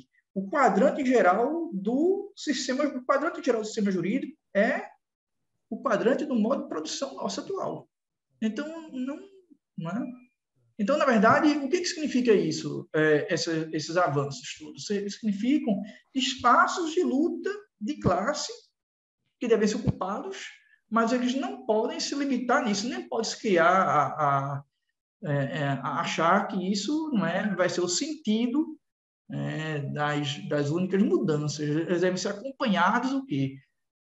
por modificações na estrutura do poder político. Então, o, sem isso. O, Fernando, tem aqui uma, uma pergunta que vai permite discutir mais o que você está falando, da Jussara, que é exatamente sobre a possibilidade de superação dessa lógica. Imagina a lógica da propriedade privada da terra como algo individual e essencialmente submetido a uma lógica privada do uso e ocupação, né? É, essa lógica instrumental de, do direito dentro do modelo capitalista atual, é a pergunta da Jussara, né? e ela complementa aqui dizendo avançou muito pouco porque o sistema, o STF, esvaziou o sentido da função social da propriedade. Ela tem razão. É, ela está aí é, mencionando a, a, questão anterior. Né? É, exatamente. quando você pega a nossa Constituição, ela, ela, o que, que ela regula? Ela regula a propriedade privada. Né? Quando ela estabelece situações de conformação da propriedade privada a interesses sociais diversos, na verdade, ela também, ela, é, digamos, é, isso tem um limite. Né? Qual o limite? E a natureza do nosso modo de produção. Então, você não consegue, é, digamos assim, é, mudar isso através de uma radicalização das próprias instituições. Eu, eu não sei se eu estou sendo bem claro o que estou querendo dizer. Estou querendo dizer que a perspectiva reformista ela não pode perder o ângulo não é final de uma perspectiva revolucionária, porque senão ela vai sofrer refluxo né, em algum momento. Ela tem que ser vista como um arranjo tático, como um acúmulo de força, mas não de que isso vai ser a forma de se resolver a crise agrária, a crise urbana. A crise agrária, a crise urbana no nosso país é uma crise do capitalismo. Uma crise sistêmica do nosso modo de produção. É. Fernando, eu diria assim, acrescentando o que você falou e também comentando aí a pergunta, indo na direção da pergunta da Jussara, né? assim, na minha visão, eu acho que hoje a questão do direito é, é muito crucial para essa fase atual da expansão do capitalismo que a gente está vivendo. Né? Expansão que tem cada vez mais como marca né, uma lógica de valorização do capital e de acumulação, que, que a gente vem chamando de rentista. Né? O que quer dizer que é, hoje essa lógica de valorização de acumulação está mais fundada nas relações de propriedade do que nas relações de produção. Me explicando melhor, mais fundado no controle das relações de propriedade do que no controle das relações de produção. Né? Hoje, enfim, os capitais podem é, abrir mão de controlar as relações de produção, onde o valor é gerado, né? é, porque eles conseguem participar da, da distribuição desse valor e do mais valor, controlando propriedades que estão na base da produção do valor. Né?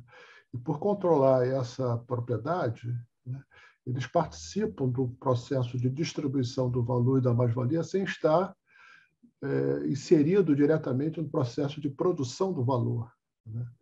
Acho que o exemplo mais contundente que tem mais próximo da gente é são todo esse novo sistema de é, franchise, de organização dos capitais, né? que, bom, uma vez a marca uh, construída, uh, uma vez você tendo uma tecnologia controlada, uma vez que você tenha é, um modelo de gestão também desenhado, né, você pode deixar que uh, o uso dessas coisas uh, em processos de produção, em processos de geração de valor, possam ser feitos por sistemas e atores que estão, estão longe do, do, dos proprietários dessas coisas, proprietário da tecnologia, proprietário do, do, capital de financiamento e proprietário da, da marca. Né? Então, deixa o processo material de produção das coisas, onde o valor é gerado na mão de outras pessoas, a, a, a franchise é exatamente isso, né? E eu, eu, controlo, eu controlando esses elementos, eu participo da, da distribuição sem estar lá no processo de produção. Né? E a outra, outro exemplo que a gente pode dar, que já vinha ocorrendo no campo, né? que, é, enfim, antes dessa, desse boom aí da, da expansão das commodities brasileiras, se bem que isso também ainda está combinando esse, essa lógica que vem acontecendo antes. Né? Dizer, essas grandes cadeias de, de produção de commodities agrícolas, né? não controlam, não precisam controlar diretamente o campo, não precisam controlar diretamente a terra, basta controlar o circuito é, onde o produto da terra circula e vai ganhar de fato né, um, um valor reconhecido no mercado. Aí, novamente, controlando, uh, aqui não é tanto a marca que, que, que, é importante, né? mas controlando os circuitos de financiamento, os circuitos comerciais, o circuito tecnológico. Né? E deixa lá o, a pequena propriedade, a propriedade média, a propriedade familiar, né? o, o, papel de produzir as coisas que, que sustentam, que, que, que fundamentam o valor. Né? É, isso, isso já vinha acontecendo em algum momento, né? mas ainda na cadeia, depois toda essa expansão aí da, do agronegócio, a concentração da terra e tal, os grandes capitais também estão controlando diretamente o processo produtivo, né? mas tem parte da cadeia, por exemplo, da, da, da proteína animal, entendeu? que lá no Sul é mais ou menos nesse sistema. Né?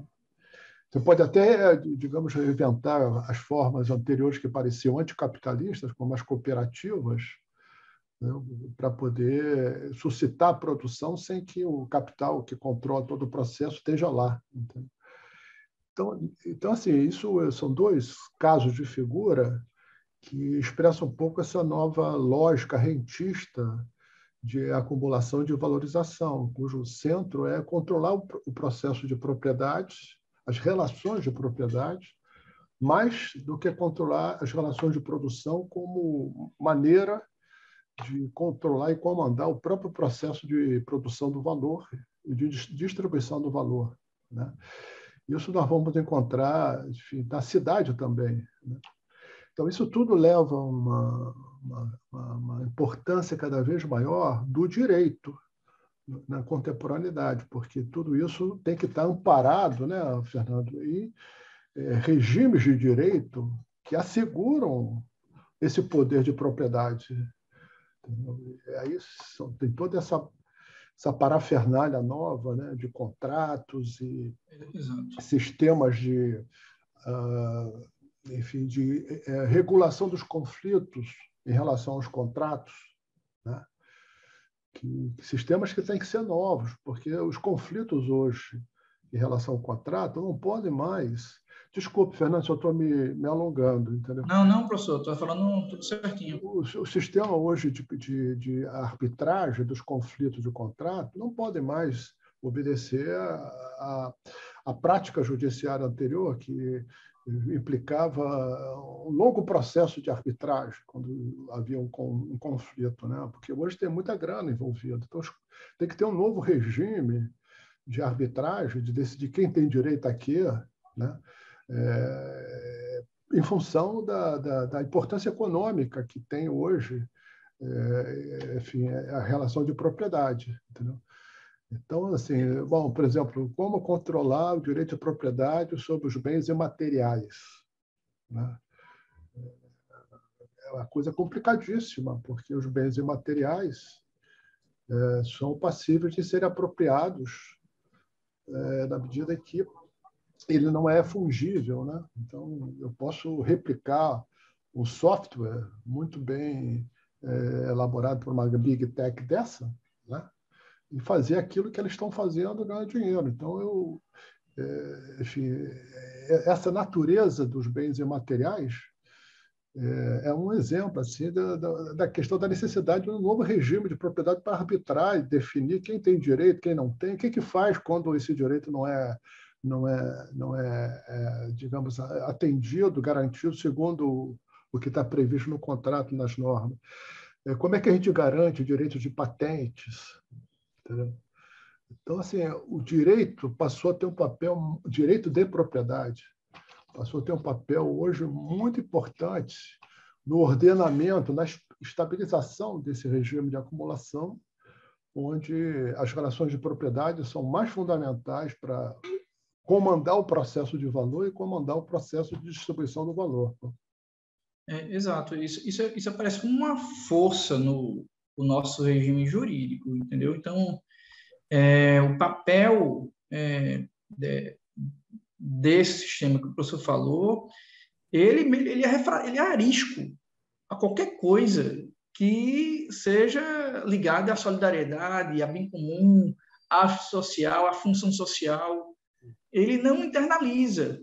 É. Você pode colocar no papel mil vezes, mas na hora da aplicabilidade disso, no judiciário, isso vai ser esvaziado de uma maneira ou de outra porque hoje existe uma pressão do capital e no sistema jurídico, uhum. nas relações políticas, quem tem mais força é que consegue transformar a sua vontade em norma. É a regra, né? Então, é, esse é um problema. Né? É claro uhum. que é importante é, é disputar esse espaço, uhum. mas, assim, é, esse processo todo de financiarização que nós estamos vivendo, de mercadorificação, de, de de titularização, ele é um processo da natureza da nossa sociedade. Então, é um problema não é, que é, assim, você não vai acabar com, vai enfrentar isso apenas não é, normatizando. Isso não é suficiente mais hoje. Pois é. Existe, existe, as, existem questões de modificação do modo de produção e de modificação da natureza do poder da sociedade. Né? Fernando, tem uma outra pergunta aqui da Marília Belo. A partir de 2009, tivemos uma alteração muito significativa dos parâmetros do aluguel residencial, que facilita os despejos por falta de pagamento. As leis vêm acompanhando o mercado financeiro. Exato. Né? E, é. não é só, e, e, não é só no aluguel, não. Você pegar. É, o professor falou em arbitragem hoje, né? os processos de arbitragem são. A, a desregulamentação é, implica o quê? É, ela se dá através da normatização, ou seja, você, digamos assim, liberar para os contratantes a possibilidade de definir as regras. Mas, lógico que se a relação social é desequilibrada, e ela é desequilibrada, quem é que vai definir as regras? Né?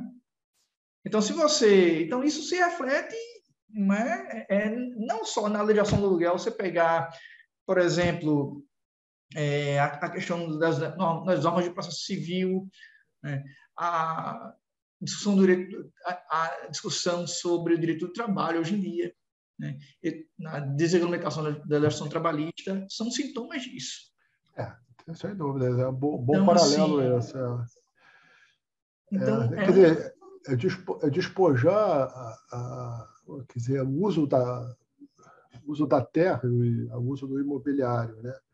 de uma função social, que seria a função ligada à reprodução, em nome da função econômica é, da terra e do imobiliário. Né? Exato. E tem, é, e tem uma, uma, outra questão, professor, deixa eu interromper, é que esses valores, a, a cidade ela tem vários valores de uso.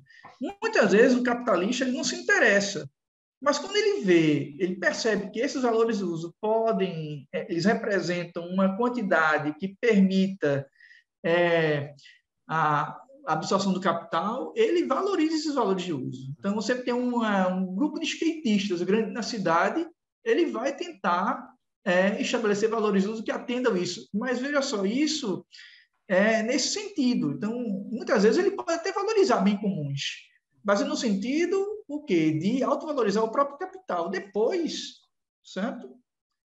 Isso vai ser, é, é, é, digamos assim, reduzido ao direito privado. Esse é por isso que assim é fundamental é, é, conter isso e quanto mais normas de direito público tiver, quanto mais limites a, a, a possibilidade de contratar for alcançado, melhor ainda. Mas não pode se limitar só a isso, entendeu? Uhum. Né? Acho que talvez a gente pudesse é, identificar dois grandes momentos na evolução do capitalismo mais contemporâneo. Eu quero dizer, o capitalismo contemporâneo que se desenvolveu a partir aí do início do, do século passado, e as transformações que ele veio, é, enfim, acontecendo, né? Depois desembocando muito aí, é, no, no que aconteceu no pós Segunda Guerra Mundial, né? Eu acho que isso conforma um grande período de constituição de uma forma de funcionamento do capitalismo que a gente enfim, chama de Fordismo, de keynesianismo, estado de bem-estar social, né? mas que, de fato, era um capitalismo ainda de bases nacionais como é, é, o centro da, do dinamismo econômico, né? Menos a globalização, que vai acontecer depois, né? tinha a indústria e a grande indústria como também o centro da, da, da, da estrutura produtiva. Né? Então, a, a lógica de, de valorização dos capitais tinha como base a produção industrial. Né? É, então, esse momento, e os, bom, é, esse momento foi importante para que esse regime de acumulação é, se estabilizasse na relação capital-trabalho, para que, é, enfim, esse dinamismo ocorresse sem os problemas da fome, da miséria, das doenças, ah, das revoltas que aconteciam muito no, na fase anterior do capitalismo concorrencial, né? onde a regulação do trabalho das outras coisas era totalmente feita pelo mercado. Né? Então, se criou toda uma normatividade de regulação para estabilizar esse regime, entre elas a regulação da relação capital-trabalho. E, por tabela, uma regulação também da, dos bens que eh, integravam as necessidades da reprodução dessa força de trabalho, né? para estabilizar também, pela estabilização das condições de reprodução da força de trabalho, essa relação capital-trabalho. Né? Não submetê-la a ah, isso, as crises, as revoltas, as fomes, ah, as crises sanitárias né, que aconteciam. Né? Então, nesse momento, houve uma regulação de muitos bens que antes eram produzidos numa lógica capitalista né, para estabilizar, entre elas a, moradia, né, o aluguel, a própria constituição de um setor de moradia social é, é, sob a iniciativa do, do Estado. Né? Então, assim, nesse momento, é, regular, limitar o aluguel era importante para o capital, era importante para estabilizar essa relação, não deixar essa relação submetida às intempéries da, dos efeitos de uma, de uma relação puramente organizada por, pelo mercado. Né? Seja a fome, a miséria, seja enfim, as crises sanitárias, né? seja a revolta. Né? Imagina uma grande indústria que veste um, enfim, o seu capital, capital fixo, fortemente, entendeu? Não conseguir botar em funcionamento permanentemente esse capital fixo que mobiliza uma parte considerável o valor do capital aplicado, né? porque tem uma greve, porque tem uma fome, porque tem uma, uma, uma pandemia, como agora tem. Né? Então, assim, isso que eu estou dizendo é o seguinte, essa questão do, do regular ou não a propriedade privada da terra, dizer, é, ela tem um, uma base importante que é que, que, expressa a lógica do capital, que é não regular quando essa propriedade impede a constituição da força de trabalho como mercadoria. Mas, uma vez isso assegurado, é possível momentos de regulação em nome do capital, para estabilizar os regimes de acumulação. Entendeu? E agora nós estamos vivendo um segundo momento, entendeu? que já não é mais uma necessidade para estabilizar o regime de acumulação e de valorização, regular esses elementos, esses bens, esses serviços que se associam à reprodução social. Pela mudança que ocorreu, não é mais o capitalismo nacional, ele é global, então, portanto, ele é fluido, está em vários lugares, pode se movimentar para aproveitar as melhores situações que se colocam. Né? É, ele não tem mais a indústria como seu centro, entendeu? é um modelo enfim, não é que a produção material deixou de existir, mas é aquilo que eu falei antes. Né? A produção material é uma parte do processo né? é, do, da, da, valorização e da acumulação do capital. Né? Então, você pode fazer hoje aquilo que é, é quase um lugar comum, isso, né? quer dizer, você produzia a Nike, todo produto Nike, botando a produção material lá na Tailândia, com trabalho quase escravo acontecendo, Entendeu? Mas é porque a empresa Nike controla o resto, né? É, que é, tem a ver com a transformação daquele bem em mercadoria. Isso significa controlar o circuito da tecnologia, das finanças do comércio. Né? Então, assim, o capital também tá, tá, não tem essa, mais essa necessidade de se estabilizar é, é, regulando as condições da reprodução da força de trabalho. Então, o aluguel agora não, é, não aparece mais como um problema para o, para o capital. Essa é a questão. Entendeu? Então, estou falando isso para a gente também ter essa discussão sem, sem a gente uh, absolutizar essa questão da, da, regulação ou não da propriedade privada como elemento anticapitalista ou pró-capitalista. Seria, é possível que em determinados momentos, como foi no passado, regular a propriedade privada seja uma necessidade do capital para estabilizar o seu regime de acumulação. Em outro momento, não sendo, então temos que botar mercado tudo que é lugar, porque o capital jamais não se fundamenta na sua reprodução pela eh, reproduzindo de uma certa maneira a força de trabalho. O Fernando, acho que eu me estendi muito. É, tem, tem, tem Henrique e Marcelo. É, e quem foi que levantou primeiro? Foi Henrique ou foi Marcelo? Foi Marcelo. Para mim, tanto faz. Se, se você quiser abrir, Henrique, não tem problema, tá? Não, não, eu só queria fazer um comentário, né? Então pode ser depois. Tá, o meu é, é, é um comentário, é, reflexão também aqui, professor, uma pergunta, não sei aquele risco também da gente elaborar enquanto pensa aqui, né, ouvindo vocês. Mas assim, ó, a gente viu aqui nessa aula de hoje, né, a questão da separação entre posse-propriedade, né, que não foi algo casual, né, foi, inclusive é fundamental para assegurar a propriedade nas mãos de uma classe que não tem a propriedade de fato, né, que até então não tinha, né, é, que os contratos então são instrumentos do capitalismo, né, e asseguram esse processo de dispossessão e aí, é, considerando né, essa divisão de, entre posse-propriedade enquanto produto né, da, da modernidade capitalista, né, sendo que, que, no efeito, acaba rebaixando a posse né, na, nesse jogo de poder. Né? É, e aí, assim, mesmo com toda a lucidez que a gente tem que ter, que o bem comum ele não é uma função a rigor do Estado de Direito, né, senão uma bandeira dos oprimidos nessa disputa, né, pelo, pelo, pelo dentro das contradições do próprio capitalismo, né? É, aí eu fico pensando o seguinte: se a gente se a gente vislumbra, né, que a, a lei com todas as suas contradições, ela não é o fim em si mesmo, e ela é um campo de disputa, também é um instrumento de disputa, né, no âmbito da luta de classe, né?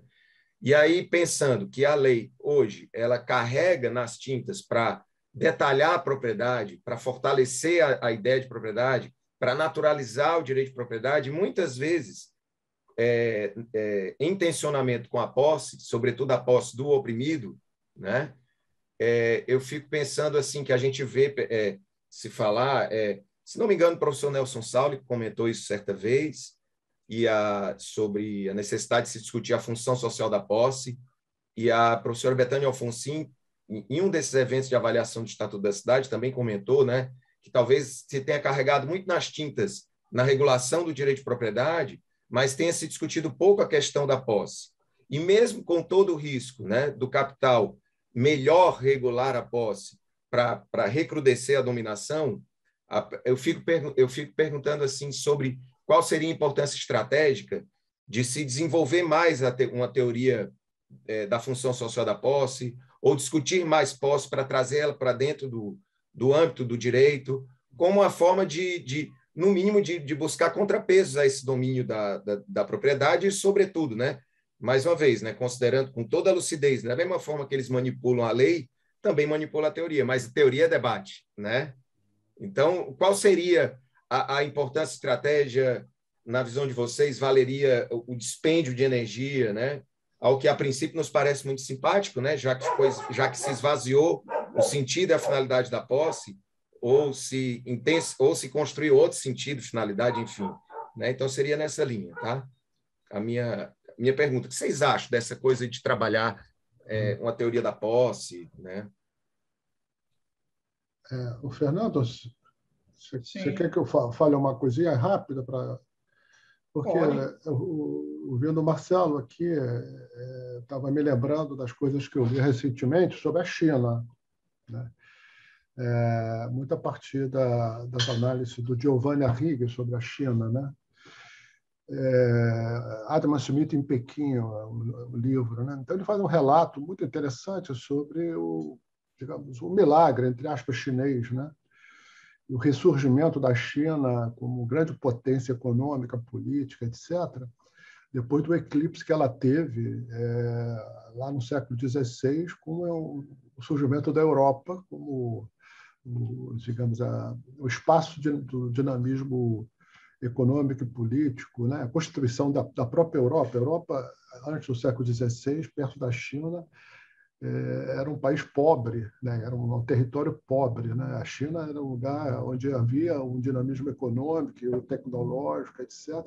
Aí, não, vale a pena entrar no detalhe aqui por que, que aconteceu isso, o eclipse da China e a emergência da, da Europa capitalista como centro do mundo. Né? Agora nós estamos vivendo o contrário, de certa maneira, esse movimento. Mas, enfim, o que eu queria te dizer é que, lendo essa, essa, essa análise do Giovanni Arrighi, ele atribui, digamos, o, o, sucesso da trajetória chinesa pós-80, né, muito a uma política em que se manteve, que ele chama isso de uma acumulação do capital sem acumulação de, é, por dispossessão. E ele fala é, como isso se materializou não apenas na manutenção do, da propriedade camponesa, que é a marca fundamental da história da formação chinesa, né? mas também é, é, fazendo com que essa é, propriedade camponesa pudesse ser dinamizada por, uma, por, um, por, um, por um poder de uso dessa propriedade conectado com o novo com a nova lógica de expansão econômica que, que vai surgir nos anos 80, entendeu? Então, isso leva muito a pensar como, como imaginar uma luta pelo direito da posse. Né?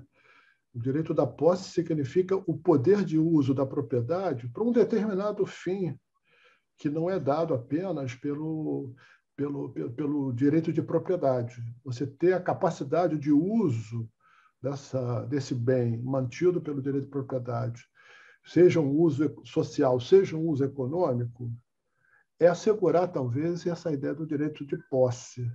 Entendeu? Especialmente no capitalismo contemporâneo, porque não é mais a natureza que é a base fundamental da, das forças produtivas. Né? Então, conhecimento, tecnologia e, e crédito né, é, são fundamentais hoje para você usar uh, a propriedade. Entendeu?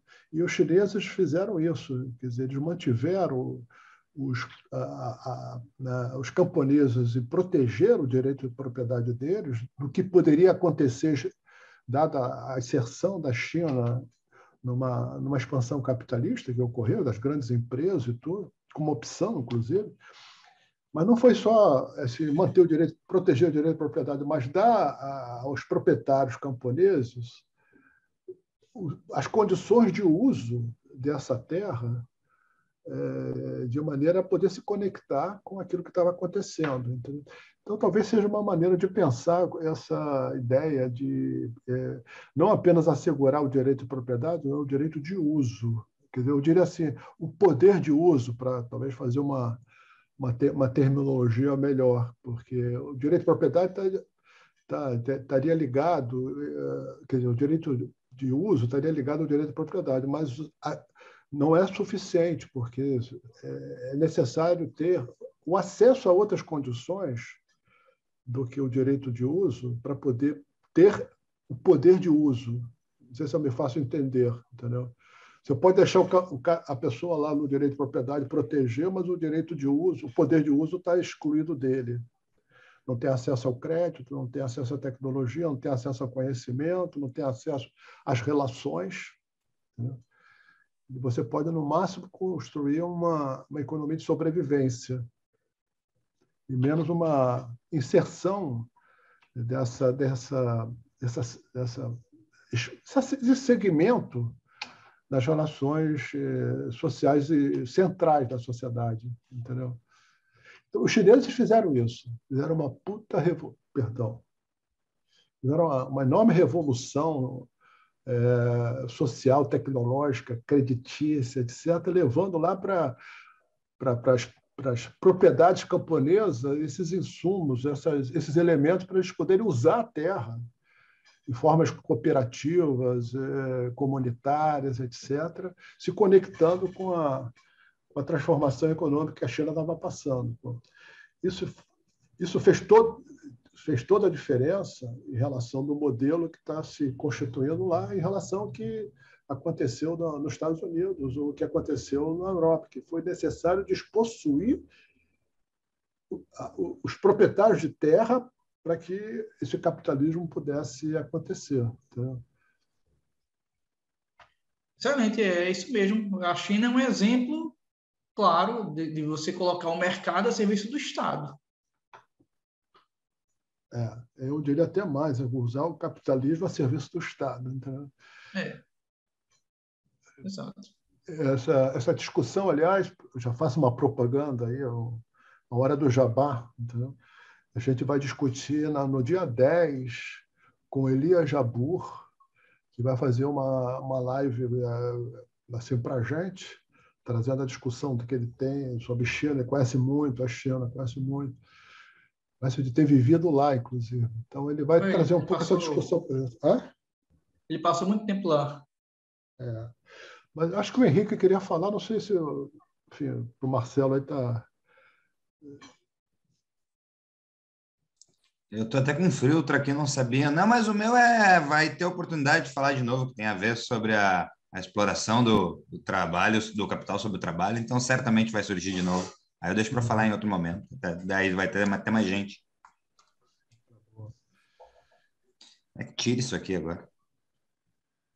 Bem, pessoal. Mas assim, é, então é isso. Eu acho que está vivendo um momento onde o direito, o direito de propriedade, é, ele é crucial. É, é, um campo de luta hoje muito importante, porque para o capital hoje, das formas de organização e de os regimes de acumulação e de valorização, o direito passa a ser muito fundamental em função da centralidade que hoje tem as relações de propriedade vis-à-vis as relações de produção para configurar esses novos regimes de acumulação. E, inclusive com uma dimensão internacional, não é à toa que nós temos um debate imenso a nível internacional. Quem, quem quiser ganhar dinheiro vai estudar direito internacional, porque é, é hoje e será ainda, mesmo com esse momento que a gente está vivendo assim meio de volta ao nacionalismo conservador, né? Mas a globalização vai continuar porque as cadeias produtivas estão espalhadas pelo mundo e vai ser muito difícil reagrupar isso tudo em territórios delimitados novamente, né? Então, é, é, é o direito internacional coloca, inclusive, isso, tem que, tem que aplainar os vários regimes jurídicos sobre propriedade para criar um campo de regulação é, capaz de assegurar essa estabilização do, desse capitalismo que se funda mais na, no controle de relações de propriedade, entendeu? Então, o campo do direito de propriedade é, hoje é fundamental, é um campo de luta, porque, por outro lado, né, Marcelo e Henrique, outras pessoas também, né, é um campo de luta também para pensar outro tipo de sociedade, outro tipo de economia, outro tipo de produção, entendeu? Então, assim, é um campo de disputa muito importante hoje, né? nesse momento histórico que a gente está vivendo. Pô. Bem, é, é, isso, né, professor? Alguém, tem, alguém mais tem alguma questão? Então, Bem, ficar por aqui. Se ninguém tem mais uma questão, só, só lembrando o seguinte, que próximo encontro vai ser com Ana Gabriela Acaiá. Ah, deixa, deixa eu fazer um comentário sobre a, nova, a próxima aula, porque até para adiantar e incentivar a todos e a todas, a, a Isabela, né? ela fez uma tese muito interessante sobre... Ana Gabriela. Gabriela, Gabriela. Ela fez uma tese muito interessante sobre São Paulo, sobre o centro de São Paulo, sobre a dificuldade de operar ali o, uma renovação urbana completa, extensa, etc., apesar de muitos interesses capitalistas voltados para esse fim, né? muita, muita pressão para isso. Né? E, então, você tem, de um lado, uma pressão forte de capitais para renovar aquilo, porque renovar essa área central, com enfim, tudo que tem de infraestrutura, seria uma fronteira nova. É, seria não, é uma fronteira nova de expansão do capital é, se acumulando na cidade, né? É, mas ao mesmo tempo é um, é um, projeto que não consegue vingar completamente, né? É, no sentido de produzir uma renovação extensa que corresponderia aos interesses que estão por trás dessa, dessa busca. Né? E, ao mesmo tempo, também é uma área e vai ser interessante porque também vamos voltar sobre essa questão do direito. É uma área também sobre a qual houve muita legislação, hein, Marcelo e Henrique, digamos assim, de proteção é, da, da, do, do, regime de propriedade ali, em função da ideia de que, bom, o centro hoje é um lugar que poderia ter uma função fundamental de reprodução social, colocando ali as camadas sociais, né, populares, morando no centro, se beneficiando de todo esse conjunto de infraestrutura. E então as prefeituras petistas, eh, as últimas prefeituras do, do, fizeram uma legislação muito interessante de forçar que aquela que aquela renovação fosse na verdade na direção de atender às necessidades da reprodução social. Entendeu? Aí você tem confronto aí de dois regimes de, de de, de, de jurídicos de propriedade é, tentando normatizar ali, entendeu? E a tese dela é super interessante para a gente continuar essa discussão, entendeu? Aí vendo um caso específico, entendeu? Pronto, é isso. Eu já mandei a tese dela para vocês, certo? Eu acho que deve estar já. Ah, e eu, daqui a pouco mando os slides também. Então é isso, né, professor? Vamos encerrar por hoje. Boa tarde e até a próxima aula. Obrigado por vocês estar aqui presente. Obrigado, Fernanda, por, por essa também, sistemática aula. Um abraço, gente. Até semana que vem. Um abraço, então. pessoal. Até mais.